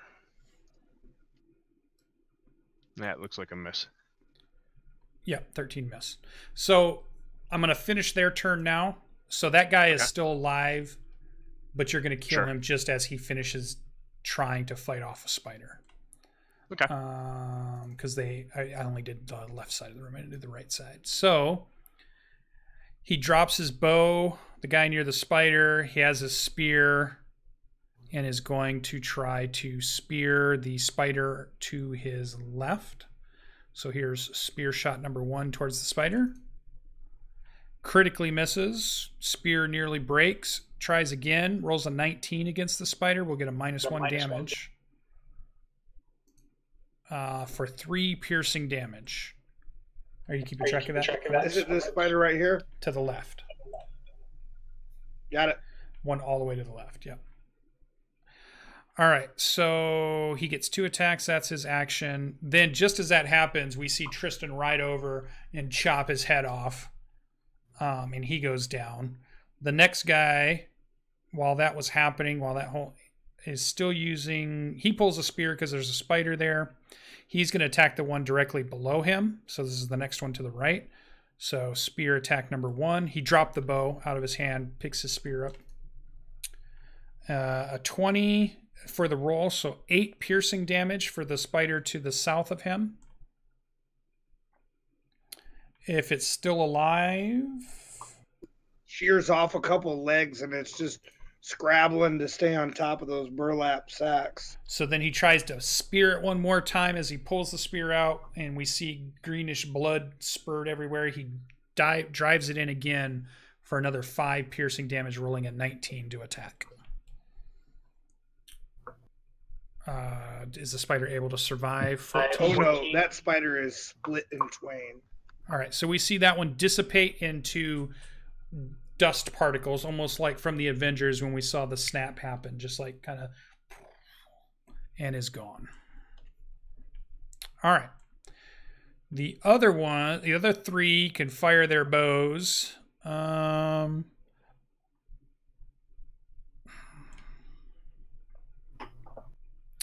so Tristan, you now notice for the first time one of them looks different than the others. All right.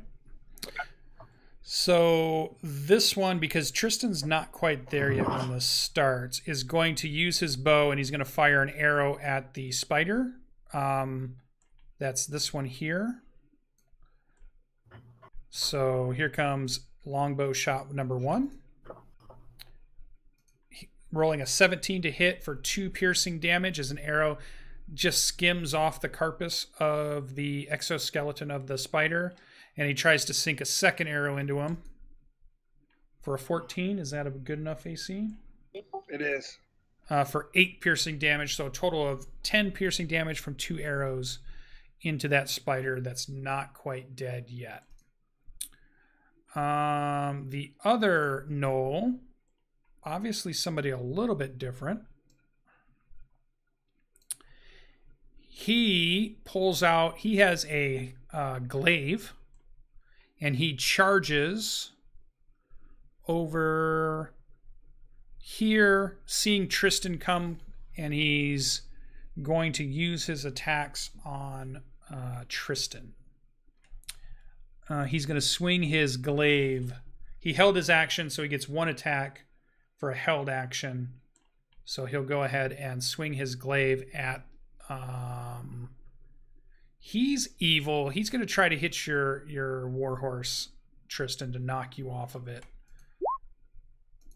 And he rolls a crit and gets um, 16 points of slashing damage. So I must not have rolled too well on there. No, I rolled some low numbers. Yep. Okay. Um, wait a minute. No, the horse still has uh, three points. Oh yeah, one d10, one d10 plus three. Okay. Um, so that's yeah, that's his held action. Uh, he also yells a command to this gnoll that's to the south and tells him uh, in a language that is does anybody speak gnoll? As one of those No. languages? All right so you guys hear him say a command and this gnoll um, kind of uh, starts like as if he's scared and fires a third arrow at the spider. But misses. All right the last gnoll is going to he can't see anybody but he's going to shoot two arrows at tristan. So here comes a longbow shot towards tristan. For a 10 it just flies off into the distance smashing against one of the obsidian walls. And then a 16 probably is not good enough either. Another arrow it you just push your shield in the way and it glances off the shield and then smashes into a stone pillar um, as it does no damage to Tristan, a 10 and a 16. All right, the Gnolls are done. That Tristan did his turn. He rode over, decapitated one of those guys. They go down. Um, you're not going to move away, right? You're going to stay there. All right. That brings us to Alberix's, the druid's turn, not the spider turn.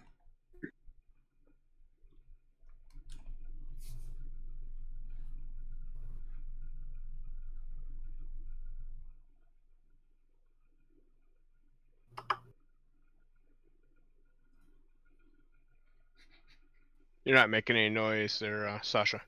Is that better? Can you hear me? Yep. Yep. Okay. So I am going to move to the other side of the barrier over here. And So that guy's going to take a swing at you. can he do that over the top of that thing? It's within five feet. All right.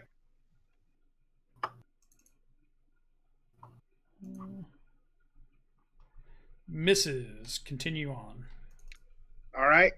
And Alberix is going to pop up over the the top here. When he gets a look at Rock, what's Rock look like uh, as he's surrounded by all of them? What kind of shape's he in? He's got three arrows sticking out of him, but uh, you probably see him give the point to the the wounded one, like he's going to smash him in his next round. So he's feeling pretty confident. Remember, all those squares you move through, those are difficult terrain, so that was 30 feet of movement to get there. Can I poke my head up over there or no? Yep. Make an attack? Yeah, you're about chest level on the barricade. Okay. And with that, I am going to cast.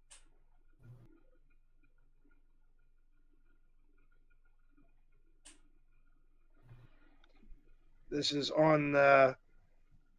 Well, it doesn't matter. It misses. So Uh, I'm going to yeah. miss with Yep, my miss. cerebral whip.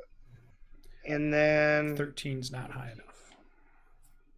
uh, duck back down. Okay, so you get some cover from the the side that's to the north of you. Yep. All right. That's my turn. Norkers.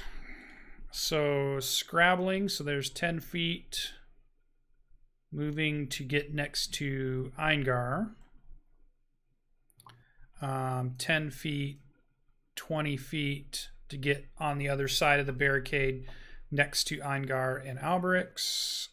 We'll be on this side of the gate, this side, uh, and this guy's going to move, let's say, to the front. Moves in. 5, 10, moves in. All right, so we have three surrounding our orc buddy. A couple of them are climbing the, scrabbling up the barricade to get a better position. And yeah, that's it for Norker. So some attacks.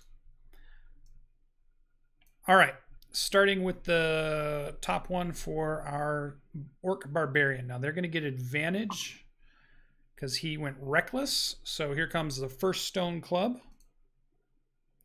Uh, does 15 hit? No.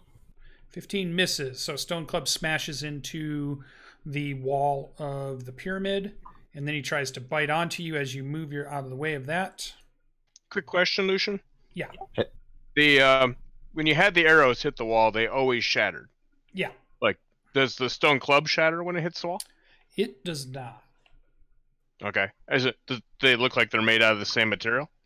No, they definitely are more of like a um, petrified wood, although they could be clubs of stone, but of more of a regular stone, not a black obsidian. Okay. Does a 16 hit? Yep, The- you got it. Got the Okay, damage so already. four piercing damage from the bite, but then halved due to rage. The one to his left tries to swing his stone club. Gets a 12. He hits the floor, missing our orc as he dodges. Tries to bite him for a 16. Five piercing damage cut in half due to barbarian rage. Rolled a 16 to get a bite onto his forearm.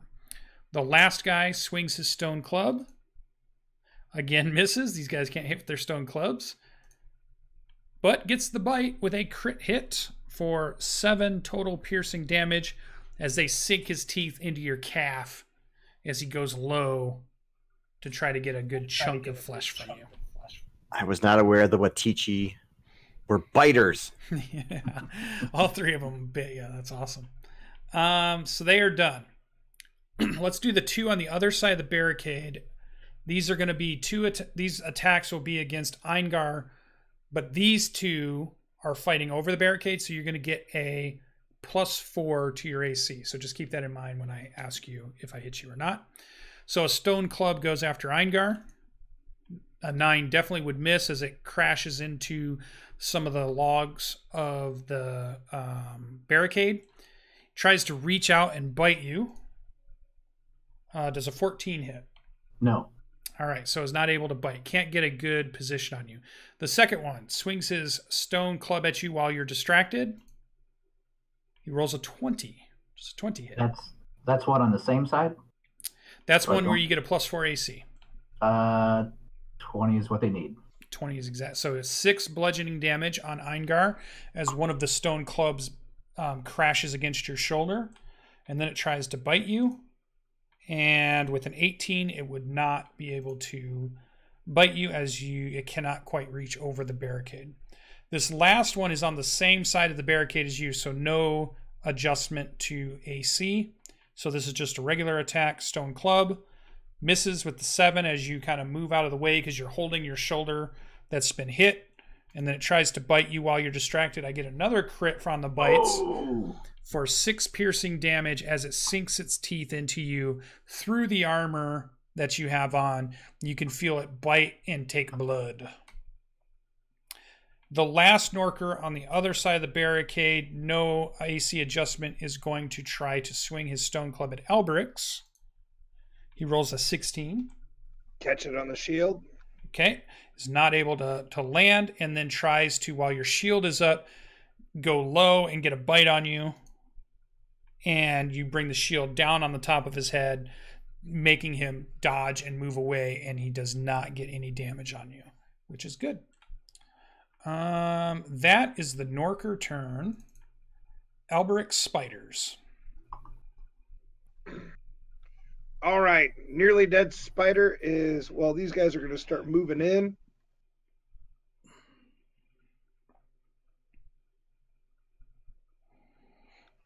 Um, I don't know what these spiders are going to do over here on the left. They would chase after the ones that ran.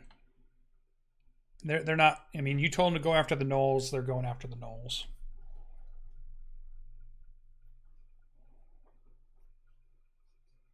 All right. So let's start on the right hand side. Um, we've got the one that's to the left of the gnoll. Go ahead and make a bite.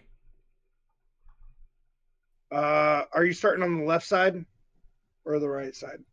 Um, yeah, we'll start on the left side. So let's start with this one, and then we'll move work our way to the left. So first bite uh, definitely hits that gnoll.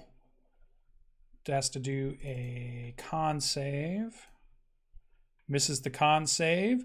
Takes full damage of 12. Oof. But he's still up. So that's uh, two con saves because one's an attack of 21 and the other one's a 19.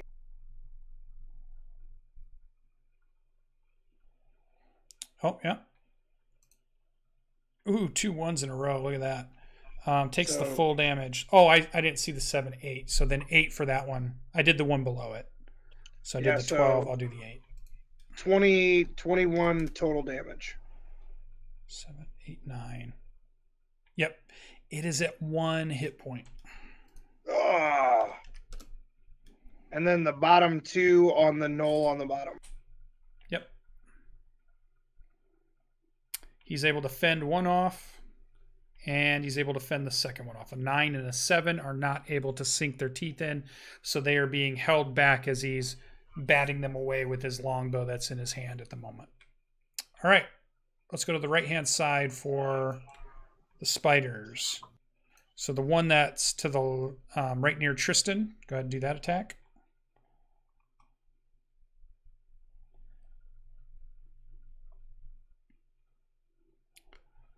Um, oh, hold on. So the first one's a 10. Yeah. He misses. The second one's an 8. He misses. The 13 misses. Ooh, bad rolls for the spiders in this round. The um, are able to swat them away or sidestep or dodge out of the way, and they take no damage from the spider onslaught. Um, they are starting to regain their composure, and they can hear their leader yelling um, commands to them. That is it for the spider turn. Eingar, you were up. All right, this one right here, I had already damaged, and he is also the one that uh, critically hit me. Yeah. So I'm going to take a swing at him. All right, swing away. No AC adjustments. 18 hits. for eight points, and since he's already been damaged, one point for Colossus Slayer. Ah, one point is what you needed. He goes down. So the eight doesn't quite kill him, and you you've kind of stuck your sword into him, and he looks like he's gonna live, but it's as you pull the sword out and the blood just pours out, and it stops because all of a sudden he realizes all the blood has left his body, and he slumps over.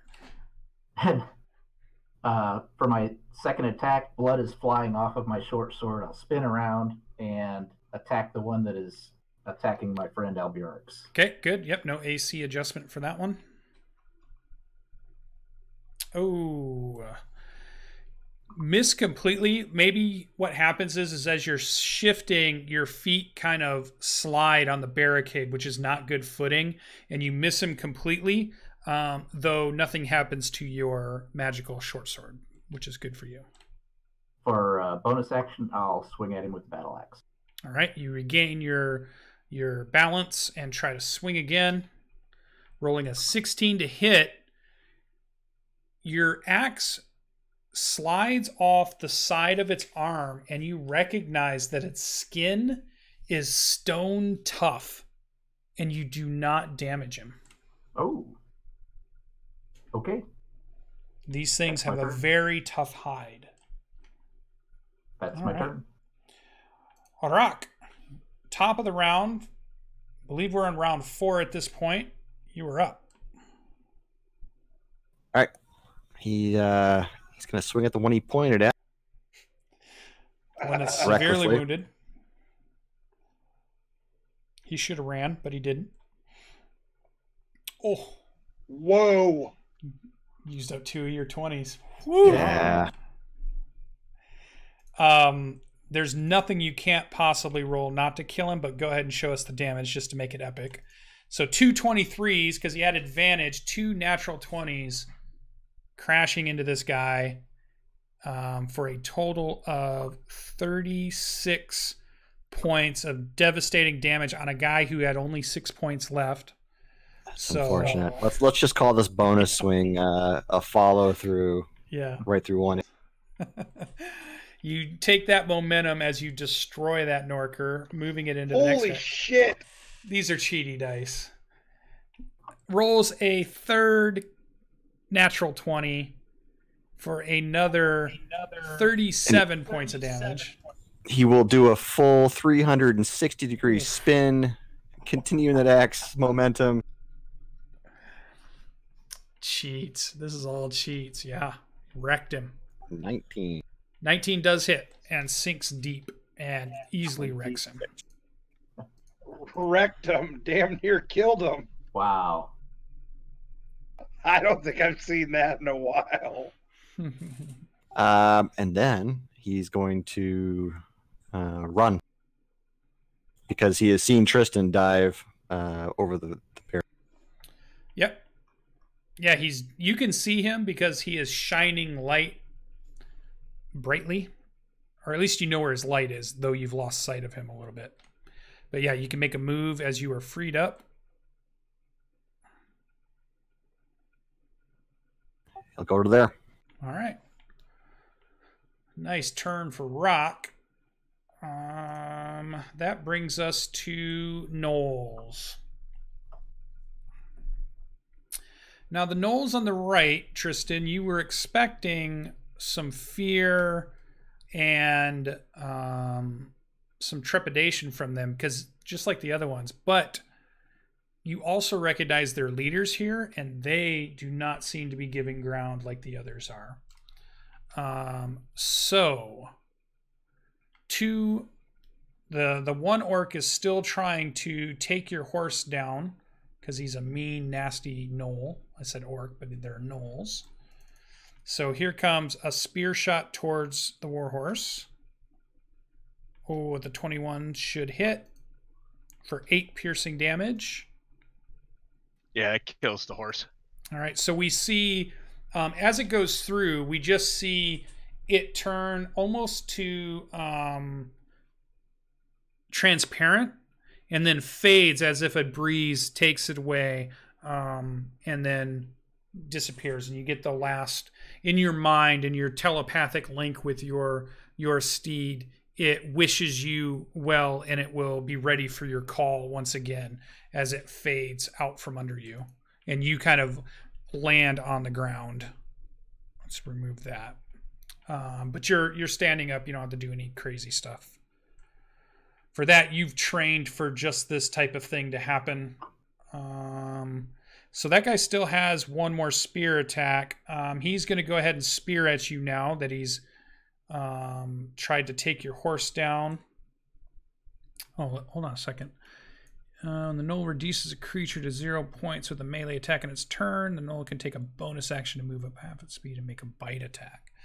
So, yeah, he's going to adjust. Oh, no, no, there's a spider there. He's going to bonus attack the spider with a bite because he reduced a creature to zero. So he's going to try to bite that spider. He's gonna bite a spire. He is. He's he's That's messed That's up. counterintuitive.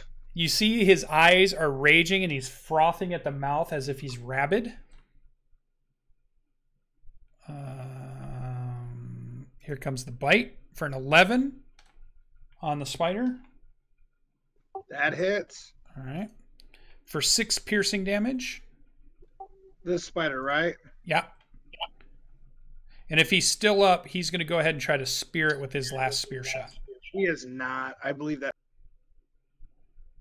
Okay, so that one's down. It's not clicking on there for some reason, but I, I'm pretty sure that's my one hit point, dude. Okay, so he'll go down. And he has a spear shot, so he's going to click on this guy here for a spear. Oh, and he hits for three piercing. Which one? This one right here. The kitty Oh, corner. I'm sorry. Um, this one is dead. The other one was a full hit point guy, so I'll adjust this. Okay, yeah, all right? yeah, just yep, just swap it. Okay. He's done. Um Same shit, different spider. yeah, no problem. This guy will move to engage Tristan. Here comes spear number 1. Ooh, a 22. Does that hit our paladin? Yep, 20 armor class. 6 piercing damage as it sticks in and gets through the the parts of your armor that have a gap. Tries it again, but is unable to as your shield gets in the way and you smack the point so it's not able to penetrate. Um, the leader moves in on you. Is that even with Shield of Faith? Yeah, I only have a 20 armor class with Shield of Faith. Do you do your concentration check at the time of the attack or at the end of the round? Uh, it's when you take damage. All right, so I need one of those. Since Okay. Shield of Faith is concentration, and that's just a D20 50 50, right? Uh, I believe so, unless it's so much damage that It's a it's a con check. yeah, con. Con save. Oh, right. You're good. Cool. All right. Now the leader gnoll has moved around, and he has his glaive in hand, and he is going to strike two times with his glaive. First one towards Tristan. Oh, he crits Tristan for twenty-three slashing damage. Oof. And then feeling the blood and the smell you can see his eyes are starting to red. He's starting to froth at the mouth. He swings a second time for a 20 um, roll your con save after the crit. All right so shield of faith went down. The glaive comes in smashing for another 13 points of slashing damage on tristan I'm down. Oh, Trista goes down. It howls. It has a rampage ability. So it's going to run over and bite a spider. Uh, rolls a 20, rolling 5 piercing damage on this spider right here. Yep. Then you hear him say in this guttural voice, and this gnoll here is allowed to make one additional attack with, with his spear. He's going to try to kill that spider. Uh, he's going to shoot at this one. Gets a 21. They're rolling good now for 8 piercing damage. I think that's enough to take that spider out. That is enough to take the spider down. Um, last one sees an orc coming, is going to try to fire his longbow at the orc. Um, who was reckless, correct? Yep. So advantage longbow number one, but only rolls a twelve. We it, this is like halfway across the room. One of the arrows hits um, one of the wooden crates. He grabs an arrow quickly, nocks it, fires one more time, and also misses. He's not able to do anything. He's going to back off 5, 10, 15, 20, 25 to the back corner. Whew, left side. Um, Gnoll number one right here. He's going to attack the furthest one away. Spear shot number one, normal. Oh, that's not supposed to be a bite. Um, the Take roll's it. the same, so it doesn't matter. Miss. Uh, spear shot number two. Crits.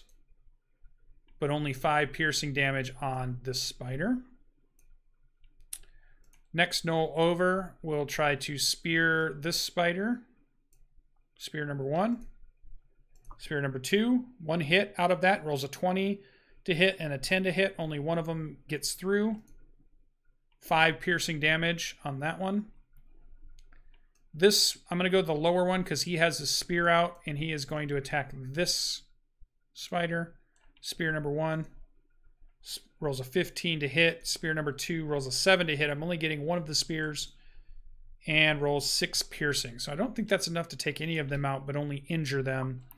The one in the corner will fire a longbow shot at this spider here because he's not within 5 feet. Rolls a 19 to hit. 5 piercing damage on this spider. Uh, if it's still alive, he will fire again. If it's not, he's going to change his target. So is that one still No, alive? he's, no, he's still up. Yeah. Okay, so he'll fire one more into him. And misses. Gnolls are done. Whew. Some good, some bad rolls there. Tristan has fallen, bleeding on the floor. Um, but it is his turn, so he gets to make a death save, please. D20 roll death save. One fail. He coughs some blood out. We see it kind of pouring onto the ground. Alberix the druid's turn. All right. One second.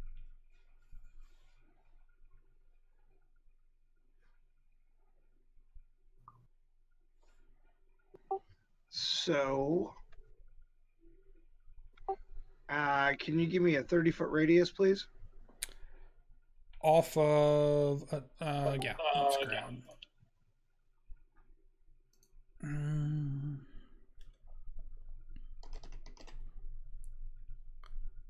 Oh, where's it at? Let's grab.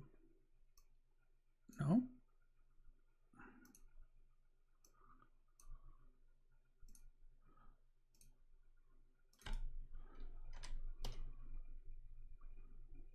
Ah, Everything's really slow. Give me a sec. There it goes. Uh,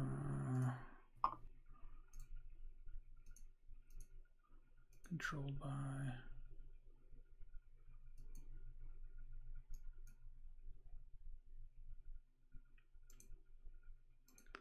All right, you should be able to move it.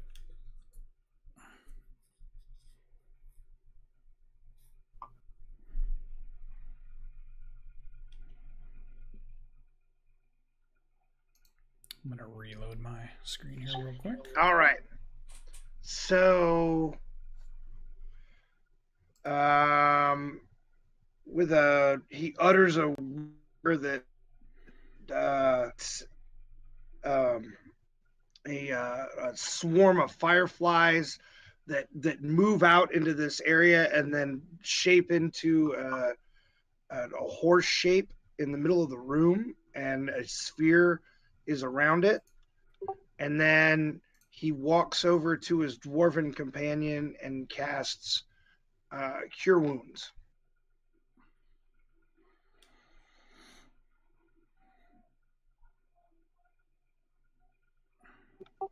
and that is going to give um, rock and tristan five hit points back each and then i'm going to heal uh, the dwarf.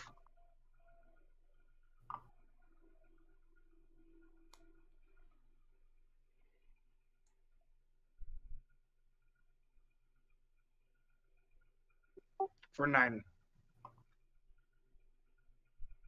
So Rock and Tristan both get five hit points. Cool. Thank you.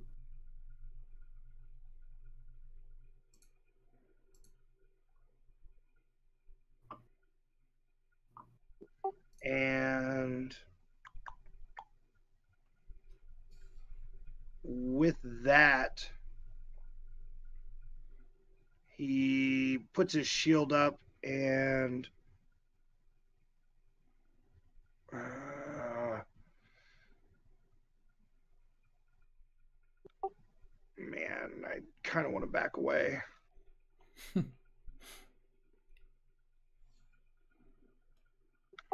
and he stays right where he is. All right. That brings us to the remaining Norkers. So we'll get one that moves across the barricade. So we're going to have two that attack Eingar on one side of the barricade and one that attacks Alberix on the other side of the barricade. So no adjustments for AC. Um, let's start with the one on the left, trying to hit the dwarf. Uh, let me get my character sheets up again.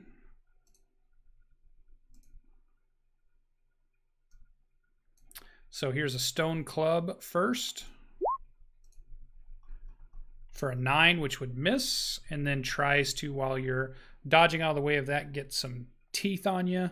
For a bite, rolls a 20 and takes six piercing damage to Eingar. That'll hit. The one on Eingar's right, while you're distracted, Stone Club whistles towards you, but misses, hits the barricade instead, tries to bite while you're distracted, is unable to latch on, nearly falls off the barricade trying to get to you, but is not able to get you. The last one tries to swing his stone club at the druid who's been casting spells. Rolls a six. The druid is able to dodge out of the way. A bite comes out for a 12, which should not hit either. The shield comes up and is able to, to kind of push the face of this Norker away as these teeth try to clamp onto you, but miss. Those are the only three Norkers that are left, so that is their turn. That's going quick for them. Um, we're on to Spider Alberix now. All right, spiders are on then.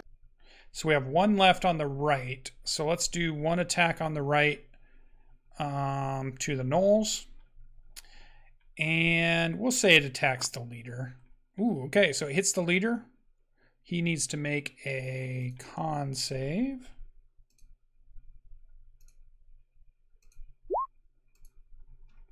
He does not, so he'll take the full damage of 5 plus 3 for poison for a total of 8 damage. Oh, what's his hit points? Is that. Okay. I had his token wrong.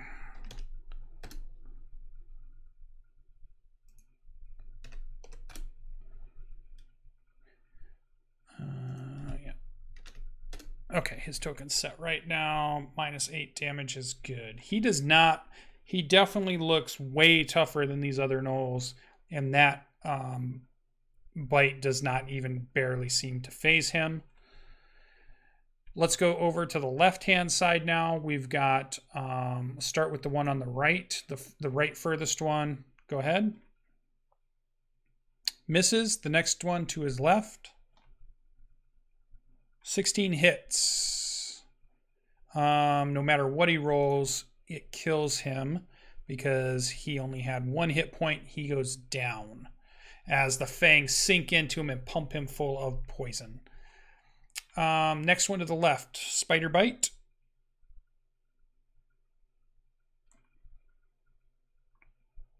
Uh, 17 would hit for, let's do a roll for him.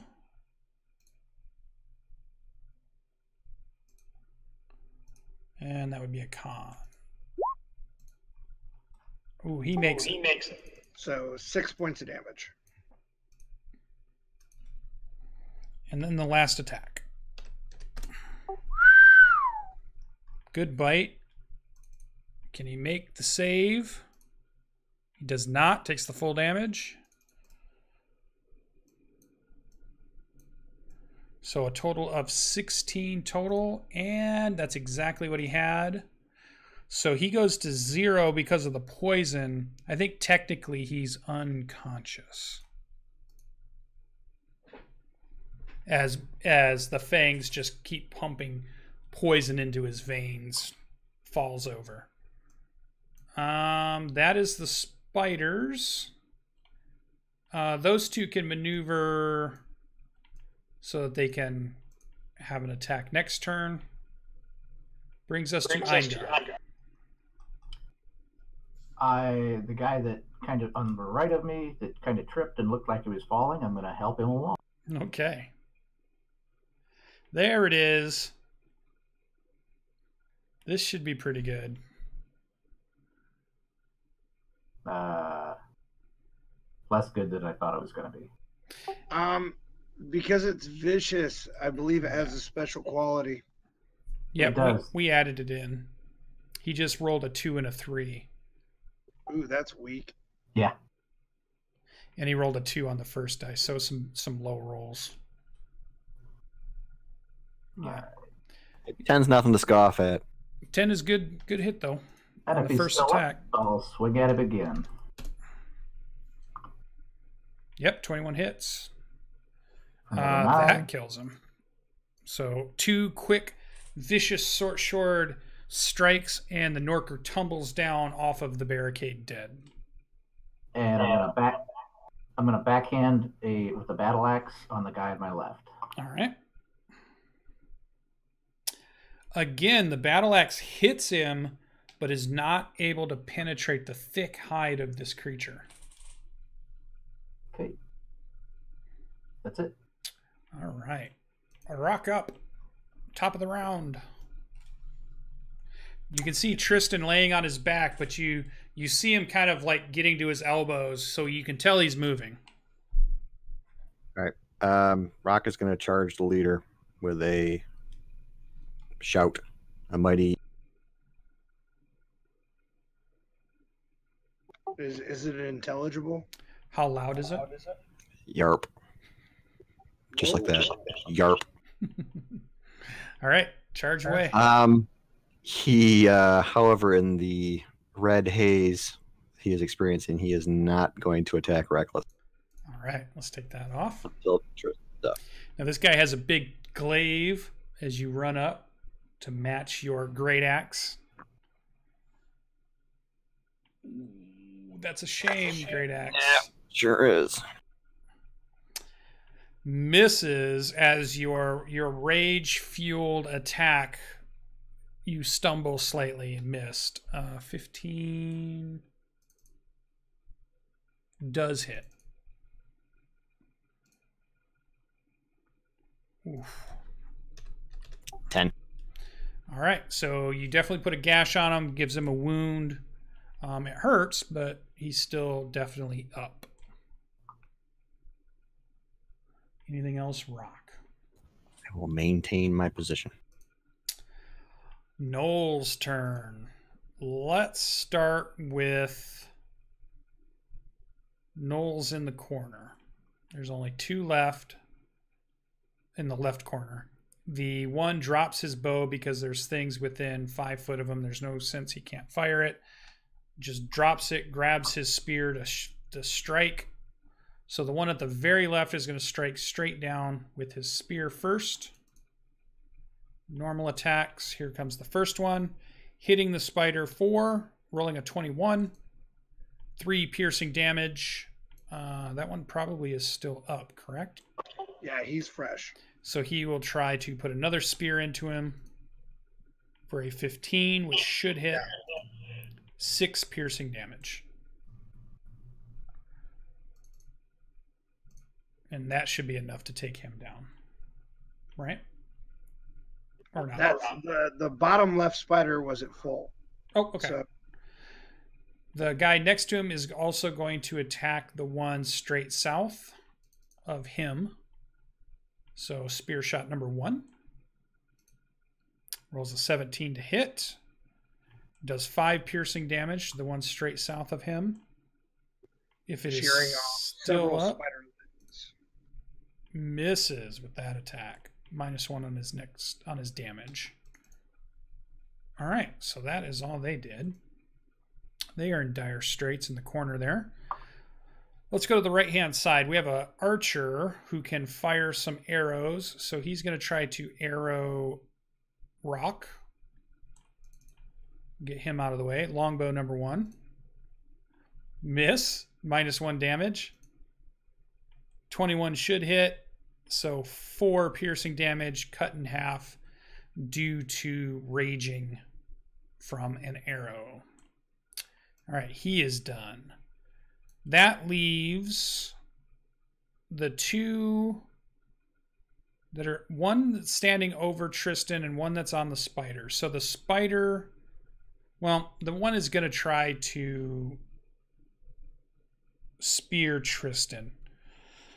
These things are scavengers. They are rabid and rampaging and frothing at the mouth. They're losing control. And as they see Tristan move, he's just going to try to spear at him again. This will be an advantage because you are prone. So a 21, but only three piercing damage. so he has to use his other attack to try to get Tristan. And he misses. The gnoll next to him is still fighting a spider.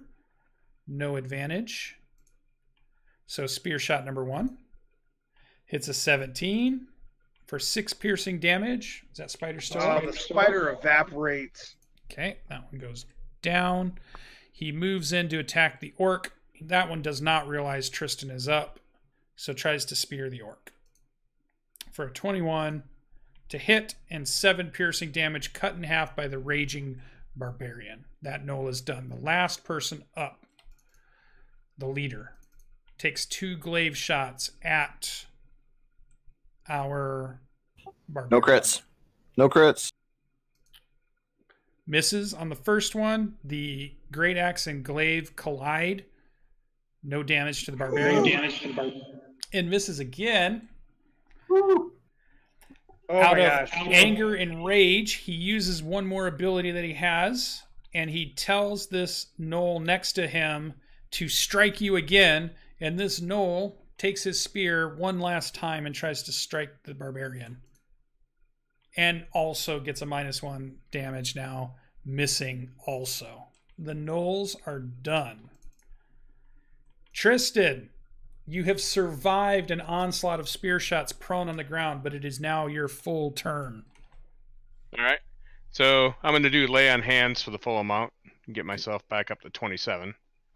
And All then standing up is an action or no? It's half your movement, not an action. So just right. half your. So you have 15 feet of movement left after this. Okay. Well, I'm just going to stay there, I guess, because if I move, I do a uh, opportunity attack no matter which way I go. I think. If you leave five feet, yeah, yeah, yeah. So, yep. And I can't attack because the uh, I have two attacks, but that's not two actions. The attack is one action, right? Right, yeah. One action that gives you Yeah. two attacks. Yep. Right. Okay. Then I'm done. All right, but your all your wounds have started to heal together through divine energy. You are back on your feet, sword and shield in hand. Um, all right, that brings us to Alberix the Druid is up. All right. Alberix um, grasps his, uh, his the staff that he has, and as he slides his hand down, the, the nodules of the the carven insects start to writhe and come alive. And I am going to use uh, one charge from this to create an insect cloud. So, in a 30 foot radius from me, the area becomes heavily obscured for creatures other than me. So these the just a it, it just absolutely erupts from this the staff and and these insects are in people's eyes and their hair and and clinging to everything and making it very difficult for anybody to do anything.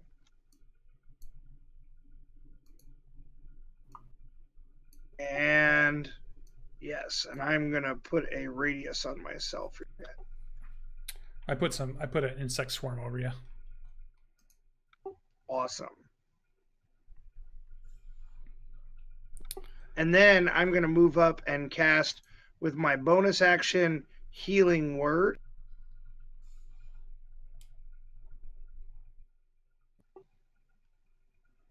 So I will uh take um let me oh hang on. So yeah, it would get to swing at you, Three, four, five. but if you're, it might be a disadvantage. It's if it's Right. obscured, it's effectively blinded, so it gets disadvantage on any attack made. All right. So let's do that as you're moving away. So it's swinging at where it thinks you are. Um, it will use a club. Uh, disadvantage. Here we go.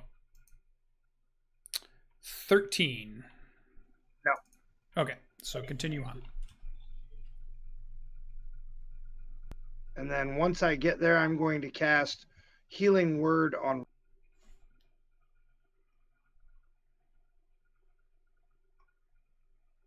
Did you break up there? I had I didn't hear that. I'm going to cast Healing Word on Rock. Oh, on rock. Okay. Ooh, nice heal. So he gets 13 points back because he's inside my totem.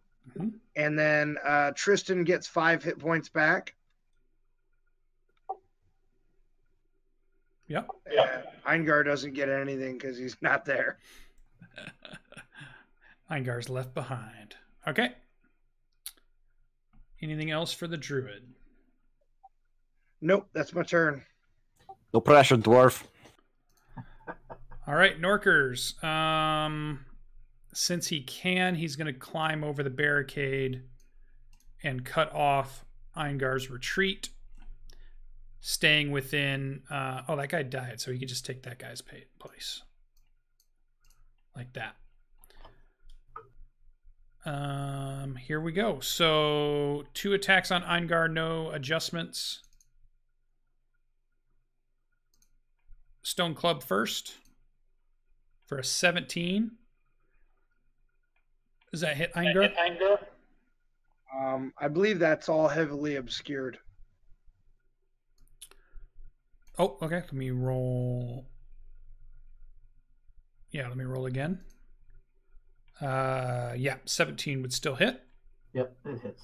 So five bludgeoning damage as he's swinging wildly inside the the insect swarm, and then since he feels where his club hits, he tries to bite in that direction, uh, but only rolls a thirteen. Is that it? 13 does not hit. Yeah, I think your AC is better than that. All right, so the other one swings wildly with his stone club. The last one gets a fifteen. That To will hit. not hit. missing um, with all the insects that are around and then tries to bite randomly rolling a 12 unable to find purchase norkers are done eingar's turn I'm going to spit out a couple of these bugs in my teeth. And yeah sensing where somebody hit me from, I'm going to swing at the right one. yep so you get the same problem but go ahead disadvantage swing 13 uh you you feel your sword swish through the air. Swing at it again. Ah, uh a 10 also misses. Swish again. Uh, battle axe for the bonus. the battle axe bites in. 17 is what you need to hit a norker to get through its tough hide. Ooh, 10 slashing. Which one was that to the right or the left? The right. Was that one hurt before? I don't No. believe don't believe it had. At least not by me. no wounds all right anything else for eingar Nope, that's it. all right top of the round rock you are up I'm going to swing at the north uh, east gnoll recklessly. okay hoping for the crits uh, 22. uh yep 22 would hit Or 24. Ooh, yes. That is enough to take that gnoll down.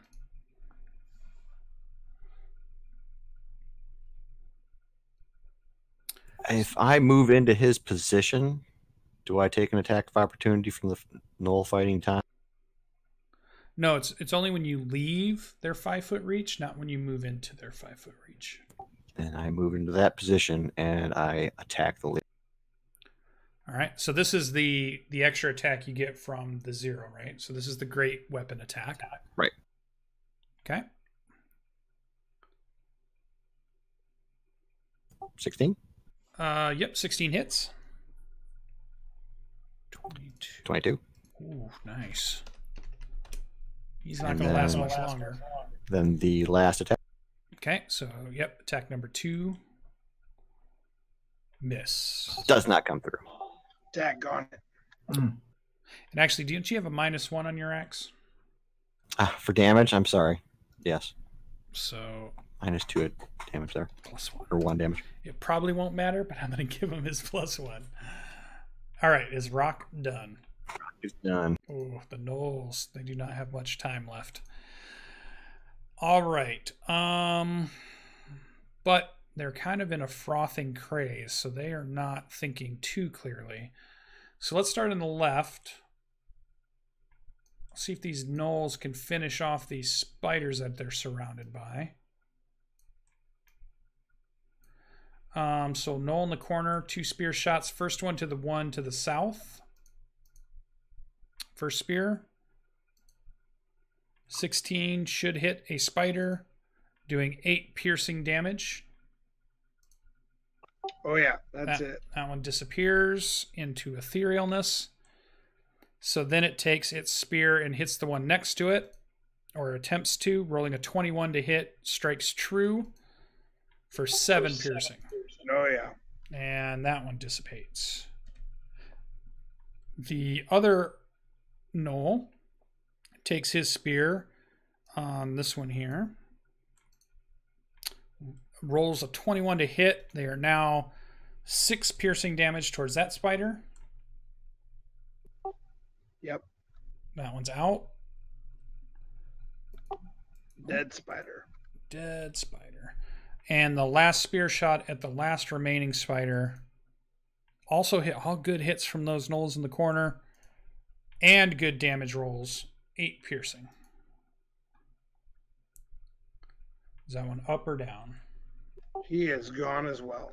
All right, so the Gnolls have taken care of them. So that was their actions. Um Yeah, I don't think they need to do anything else. I think they will just position position like that. Give them so that they can actually possibly see. So they move. Okay. Um Gnoll in the corner firing arrows at Tristan. Two arrows from a longbow. Here they come. Number 1. What? Gnoll in the corner? This one up here. Oh, gotcha. top top right corner. But arrow flies out, missing the whole melee that's happening there. Tries to hit him again as Tristan is dodging, ducking, and weaving. Rolls a 20. That should be a hit on our paladin for four piercing damage as an arrow draws some blood from you. All right. Um, he is done. Let's go with the spears towards Tristan. Spear number one. This is the guy to his right. 21 should hit our paladin for eight piercing damage. So they're they're doing well, but they are dying quickly. One more spear shot towards Tristan. Uh, 14 would miss as your shield um, gets uh, blocks the spear shot out of the way. No damage to Tristan.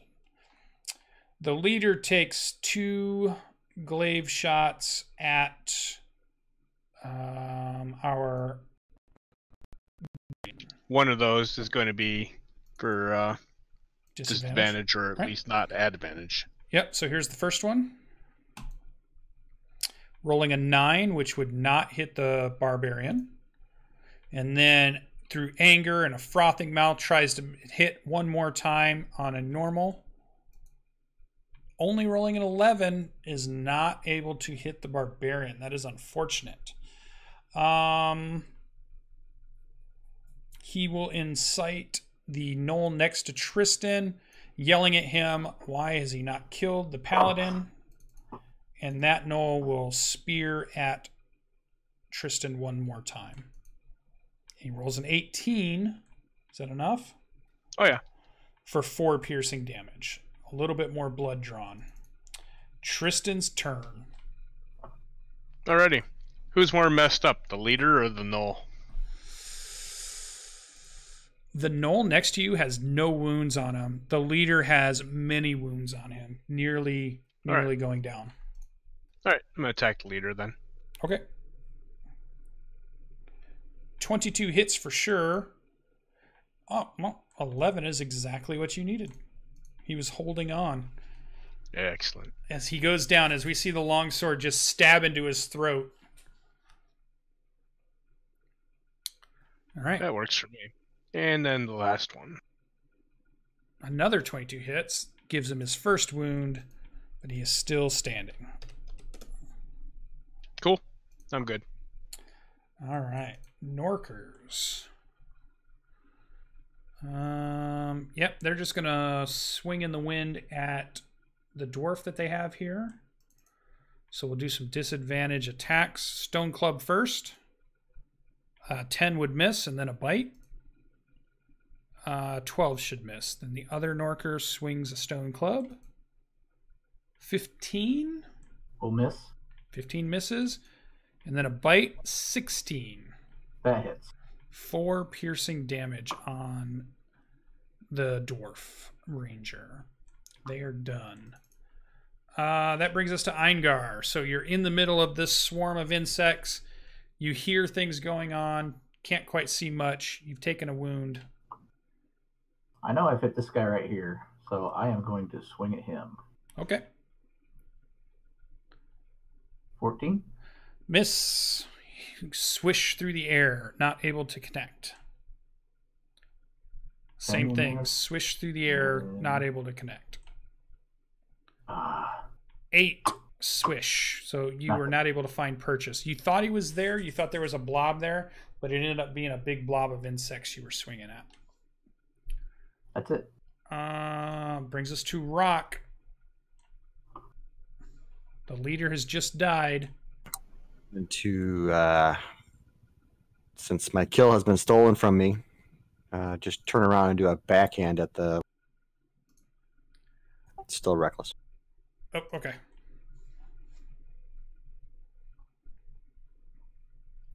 Yes. Misses. You you were so put off by not being able to get that kill, you swing wild.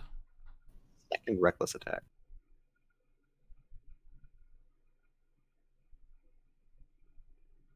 Sixteen does hit. Oh. Twenty-two. Yep, good damage. He goes down. Uh, with my bonus attack, I will move across. Are those just bed rolls? Yep. Charge that guy has been plinking me. Okay.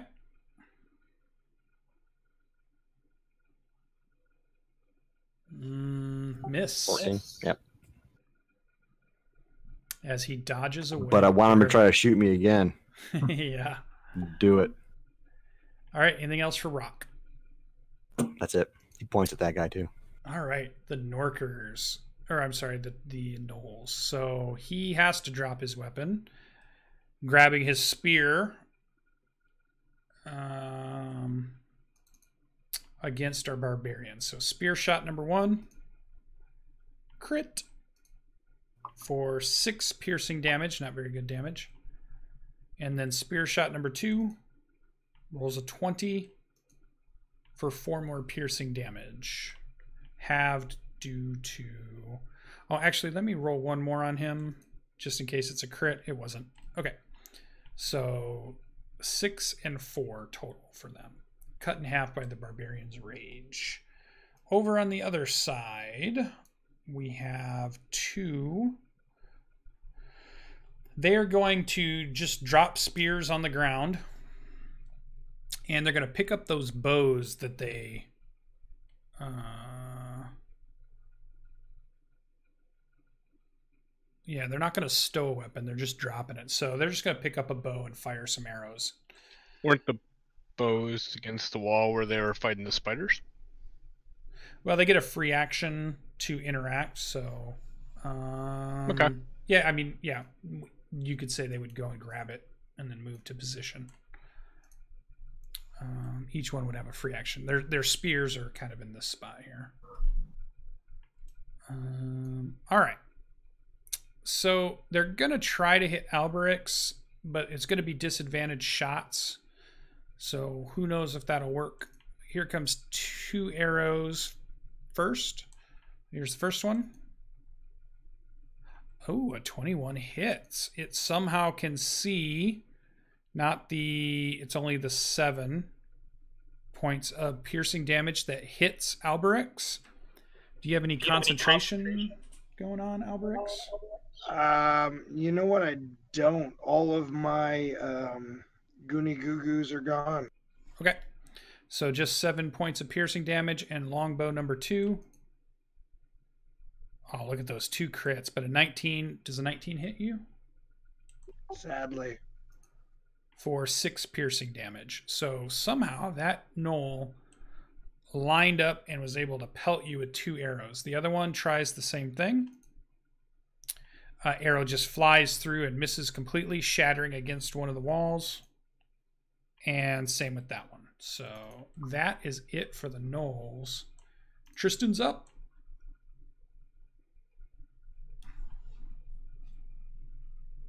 Get him.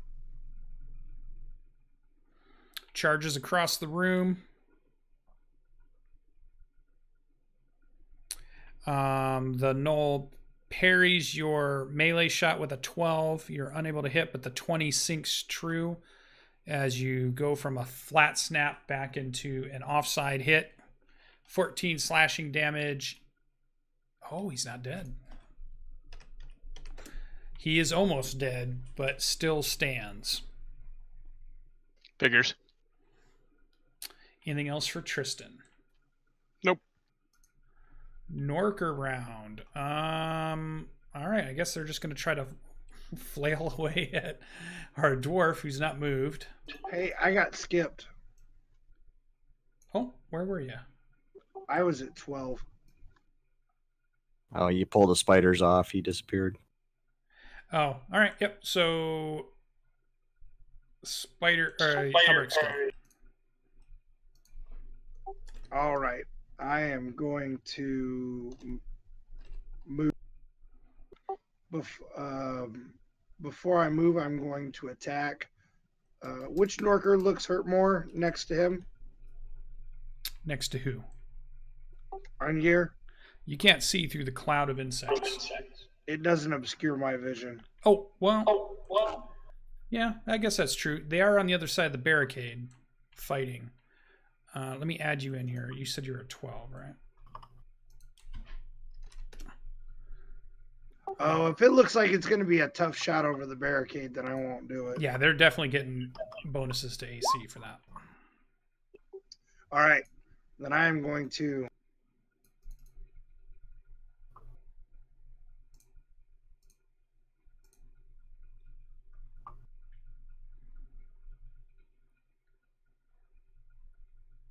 I'm going to move up here and I am going to snap the gnoll in the face with the cerebral whip. Cool. So he's getting the whip. The top one or the left one? Whichever one is hurt more. Uh, 14 does not hit. Dang it.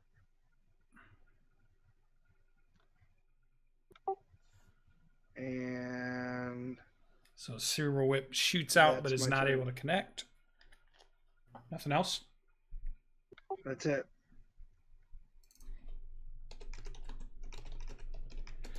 All right. You guys are here for we had a bunch of people jump into chat. You guys are just in time for the end of the battle. It looks like we're almost there. Uh the Norker's turn, who are no longer obscured. Thank God. They are going to try to beat this dwarf down, who has been stalwart. Uh, Stone Club number one at normal. We'll start on the right hand side guy. Oh, he rolls a 20, hitting for six bludgeoning That's damage as it crashes into you in your shoulder and then tries to bite you while you're distracted. Uh, 14, I believe, misses on your AC. And then the one behind you, while you're trying to fend that one off, swings his stone club at you. Missing, hitting the barricade wood as it crashes into that, and then tries to bite you one last time. Oh, my rolls have failed me. Norkers are done. Eingar, you are up. The Battle of the Barricade down here in the south. Go ahead. I find I spit the final uh, bugs in at in this guy's face on my right yes. and swing it swing away at him. So an 11 will miss, kind of swish past as he dodges out of the way. 16 hits him but does not draw blood. The hide is too tough. And battle axe once again But the battle axe sinks in true. for eleven, and he's already damaged He is. for another three. So we see the battle axe cleave into him as the sword was not able to leave a mark, but then smashes into him and his body tumbles off the barricade and piles up on the other one. So there's now two of them piled up here as the body rolls down off the barricade. Anything else for Eingar? I'm going to step on the other side if I can. Uh, yep, just difficult terrain, so 10 feet of movement. Okay, that's it. All right, Rock, top of the round. Barbarian, you are up. I'm going to attack this guy in the corner. Oh, my lord. Pick it on him. Go ahead. Recklessly. Reckless, okay. With advantage, swing number one strikes true. I do not think he's going to live. Nope. He goes down as a great axe chops him in two. Blood sprays out in that corner. He slumps to the ground. And without a moment of hesitation, he will move his full movement uh, towards the other three. Sure, you kind of throw yourself into a swarm of insects. You're not quite sure where they are. Uh, you can't move through walls there.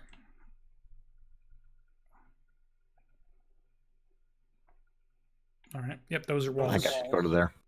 Right? So you think they're on the other side there, but you're not quite sure where they're at. Anything else for Rock, the barbarian? That's it. That is it. The remaining gnolls, um, they're being tracked down by this pesky druid. They're going to fire their longbows at him again at disadvantage. Longbow shot number one towards the druid, Alberix. 13 misses. Arrow flies off and hits one of the crates. Longbow shot number two. Rolls a six. Arrow flies out, hits the back of the pyramid, crashing against the wall of the black obsidian. Um, Gnoll number two misses with his arrow, and both all four arrows miss. Gnolls are done. They're going to back up. Oh, I'm going to back them up. That is their turn. Tristan, you are up. You can't quite see past the wall there, so keep that in mind. Yep. I'm just gonna move up to there, and then let's see. They're going to move there. I think that's gonna be it. So um, you can either hold your action, you can dodge, you can dash for another 30 feet. Yeah, I guess I'll dash. Okay. I'm gonna follow up on the outside edge of uh, the insects, I guess. Yeah, so you kind of start swarming your way through and just kind of. There you go. All right. Anything else for Tristan? Nope. Alberix, you were up. All right, I am going to. As he moves in, he kind of pushes the swarm into the face of these guys here and is going to um, do a psychic whip. All right. Psychic Whip. 12 misses. All right. And then I'm going to move over to here.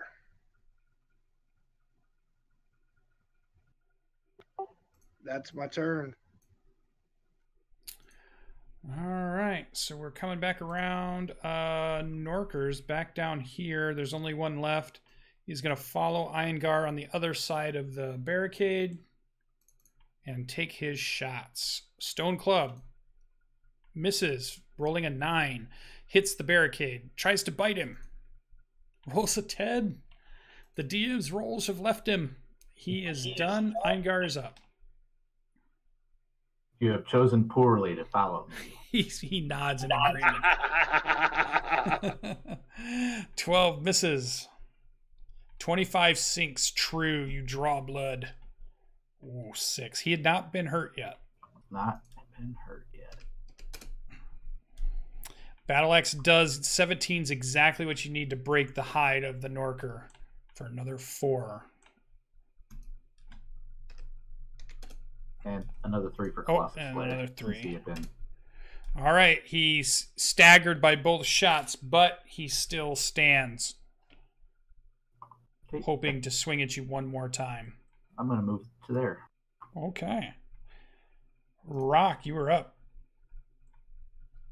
Okay, does the swarm move with Alberic? Yeah, there's like this big 30 foot swarm of obscuring stuff. I mean, technically, you're going to have no idea where they are. He's just going to charge right towards where he thinks they are and leap through that swarm, come out swinging.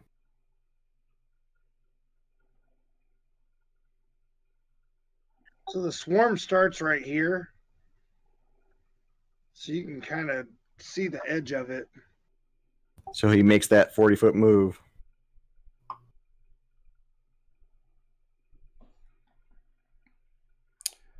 And attacks the first one he sees. Uh, r- roll a perception check for me.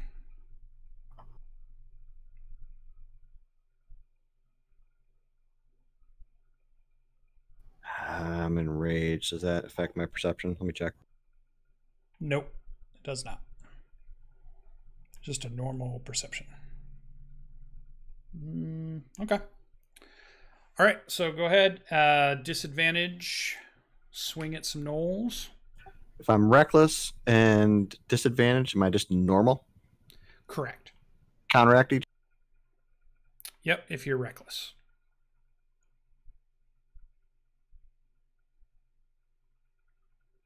Fifteen. Swish goes through the air. Second attack. A 19 finds purchase. Oh, nice. My gosh. Let you randomly choose which uh, gnoll I struck. Yep. About that. Yep. You just, I mean, you, you don't even know if he goes down. You just know that you hit hard and you pull back. The insects are wet. yeah. You would think you'd get another swing. I roar into the swarm. Oh, did I kill him? Yeah, yeah, he died. Uh, yeah, 22 will hit.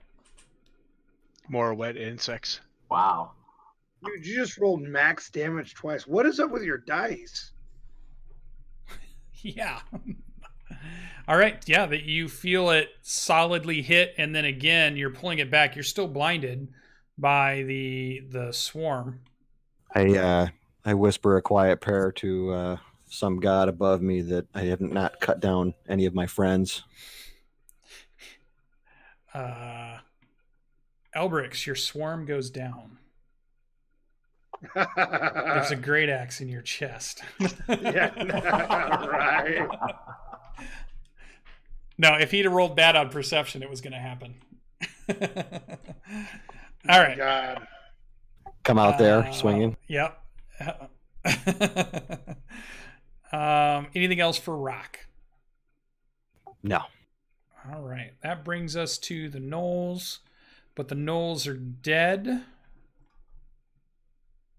So that brings us to Tristan. You see, you see the barbarian orc dive into just a swarm of insects, and you're just like you can't see anything. Yeah, but I can see that the insects suddenly got redder. Sh- Sure, The, the red mist. sure, yeah, it's a big red mist, lots of red mist. Yep. All right, I'm gonna chuck a couple javelins at our friend and Norker down here. All right. If you step to the right just a little bit, you won't be affected by the insects. There you go. All right, javelin away. 19 and a 27. Yeah, both hit. Nicely done. Oh yeah, first one killed him. Didn't even have to throw the second one. So he gets pinned to the barricade with a javelin. You can keep the other one. Sweet. Anything else? You still have movement or one more attack? I'm gonna move right there. This is like some type of pillar, right? It Uh, is. It's a big black pillar, and on either side is stairs that lead down, but there's a wall there that separates them. Okay. And I don't see anything coming up the stairs. Not currently. All right, good. Yeah, I'm good. Uh, Alberix, you see the last two gnolls go down. Um, so at that point, you would know. Uh, you would assume. I don't know. You might not know if people are still up or where, where you're at. You don't know if others are up or not. You'd have to get more central. All right. So I'm gonna move this direction. I see Rock is okay, Yep. and as I move to here, I see that Tristan is all right. Yep. and I can see the dwarf, right? Yeah, and you don't see any. You see bodies along the floor where he's standing, but you don't see anything moving down there. Um, and you see nothing moving up in the corner because you have sixty foot. No, you don't have dark vision, do you? I do not. Well, that might have changed how the whole thing went around, but we'll let that go for now. okay. Um, All right. Yeah. So I think you would be able to tell that there's. We can go out of turn order at this point. You guys have realized it gets quiet and no bodies are moving, and you hear the sound of just heavy breathing and your own armor and footsteps at this point. Alberix just says shh, and as he does, the insects just seem to thin out and dissipate as the effect ends. Awesome. Really, I was kind of hoping Rock would be covered in blood, and then on top of that, just a mess of butterflies all over. So, just a thought before your unicorn totem goes away. Do we want to cast any heals to get the bonuses? Um, yeah, I think we were on round number seven at that point. um, so you would have had a little bit left. yeah, Oh, but you'd As have to we- cast to do it. So are you gonna use spell slots? yeah, I do have to cast to make it happen. Yeah, because I'm a bit under half. It looks like Eingar's close to half. I don't know what Rock's at. I'm more than half, but Well, as you guys are thinking about that, um, you get a better look at this room. Those of you that have night vision, dark vision, can see a little bit better. The, the Alberix and Tristan, who can only see by the light of his sword, um, you can see that there are some crates and barrels that look like supplies. Uh, there's definitely sacks of grain that have been stacked up and were being used as a barricade, but were also parts of supplies. There were a few bedding areas in the corners, so it looked like obviously the Gnolls were sleeping at the top part of this pyramid, and the Norkers were sleeping down in the part towards the door. Um, and now there's just bodies and blood strewn everywhere. But it is quiet at the top of this pyramid. So everybody gets five hit points back on that first cat, and then nine six heals. That's it.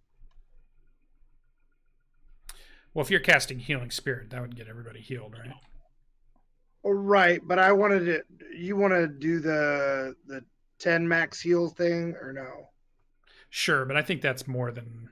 I mean, go ahead and make Okay. the rolls. but I think that'll heal everybody up. Okay, I'm good with that. So, uh, Just do 10d6. Yeah, unless you roll bad, I think it would work. Yeah, because everybody's going to get the.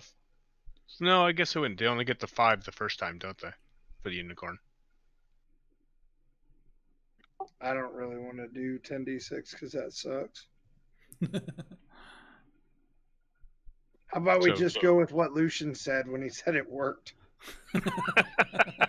sure. Yeah, I'm okay with that. You use the spell slot. Dude, that was a freaking epic fight. Holy shit. Um, All right. Alberix is going to point to his companions, gather them up, see if there's anything that we can that we can use. As he points to the leader, especially. Yeah, I'll start searching too. All right. Yeah. So what we'll do is we're going to wrap our session up for tonight. We will assume when we come back for next Monday's game that we are in the 10 to 15 minutes of you searching bodies and moving bodies around. And that's where we will pick up. You will find out what you find on some of the bodies. Um, you do realize that none slipped past you with Tristan's uh, bold, dashing move. None went down the stairs. So, for the first time in the Black Pyramid, no reinforcements had been summoned.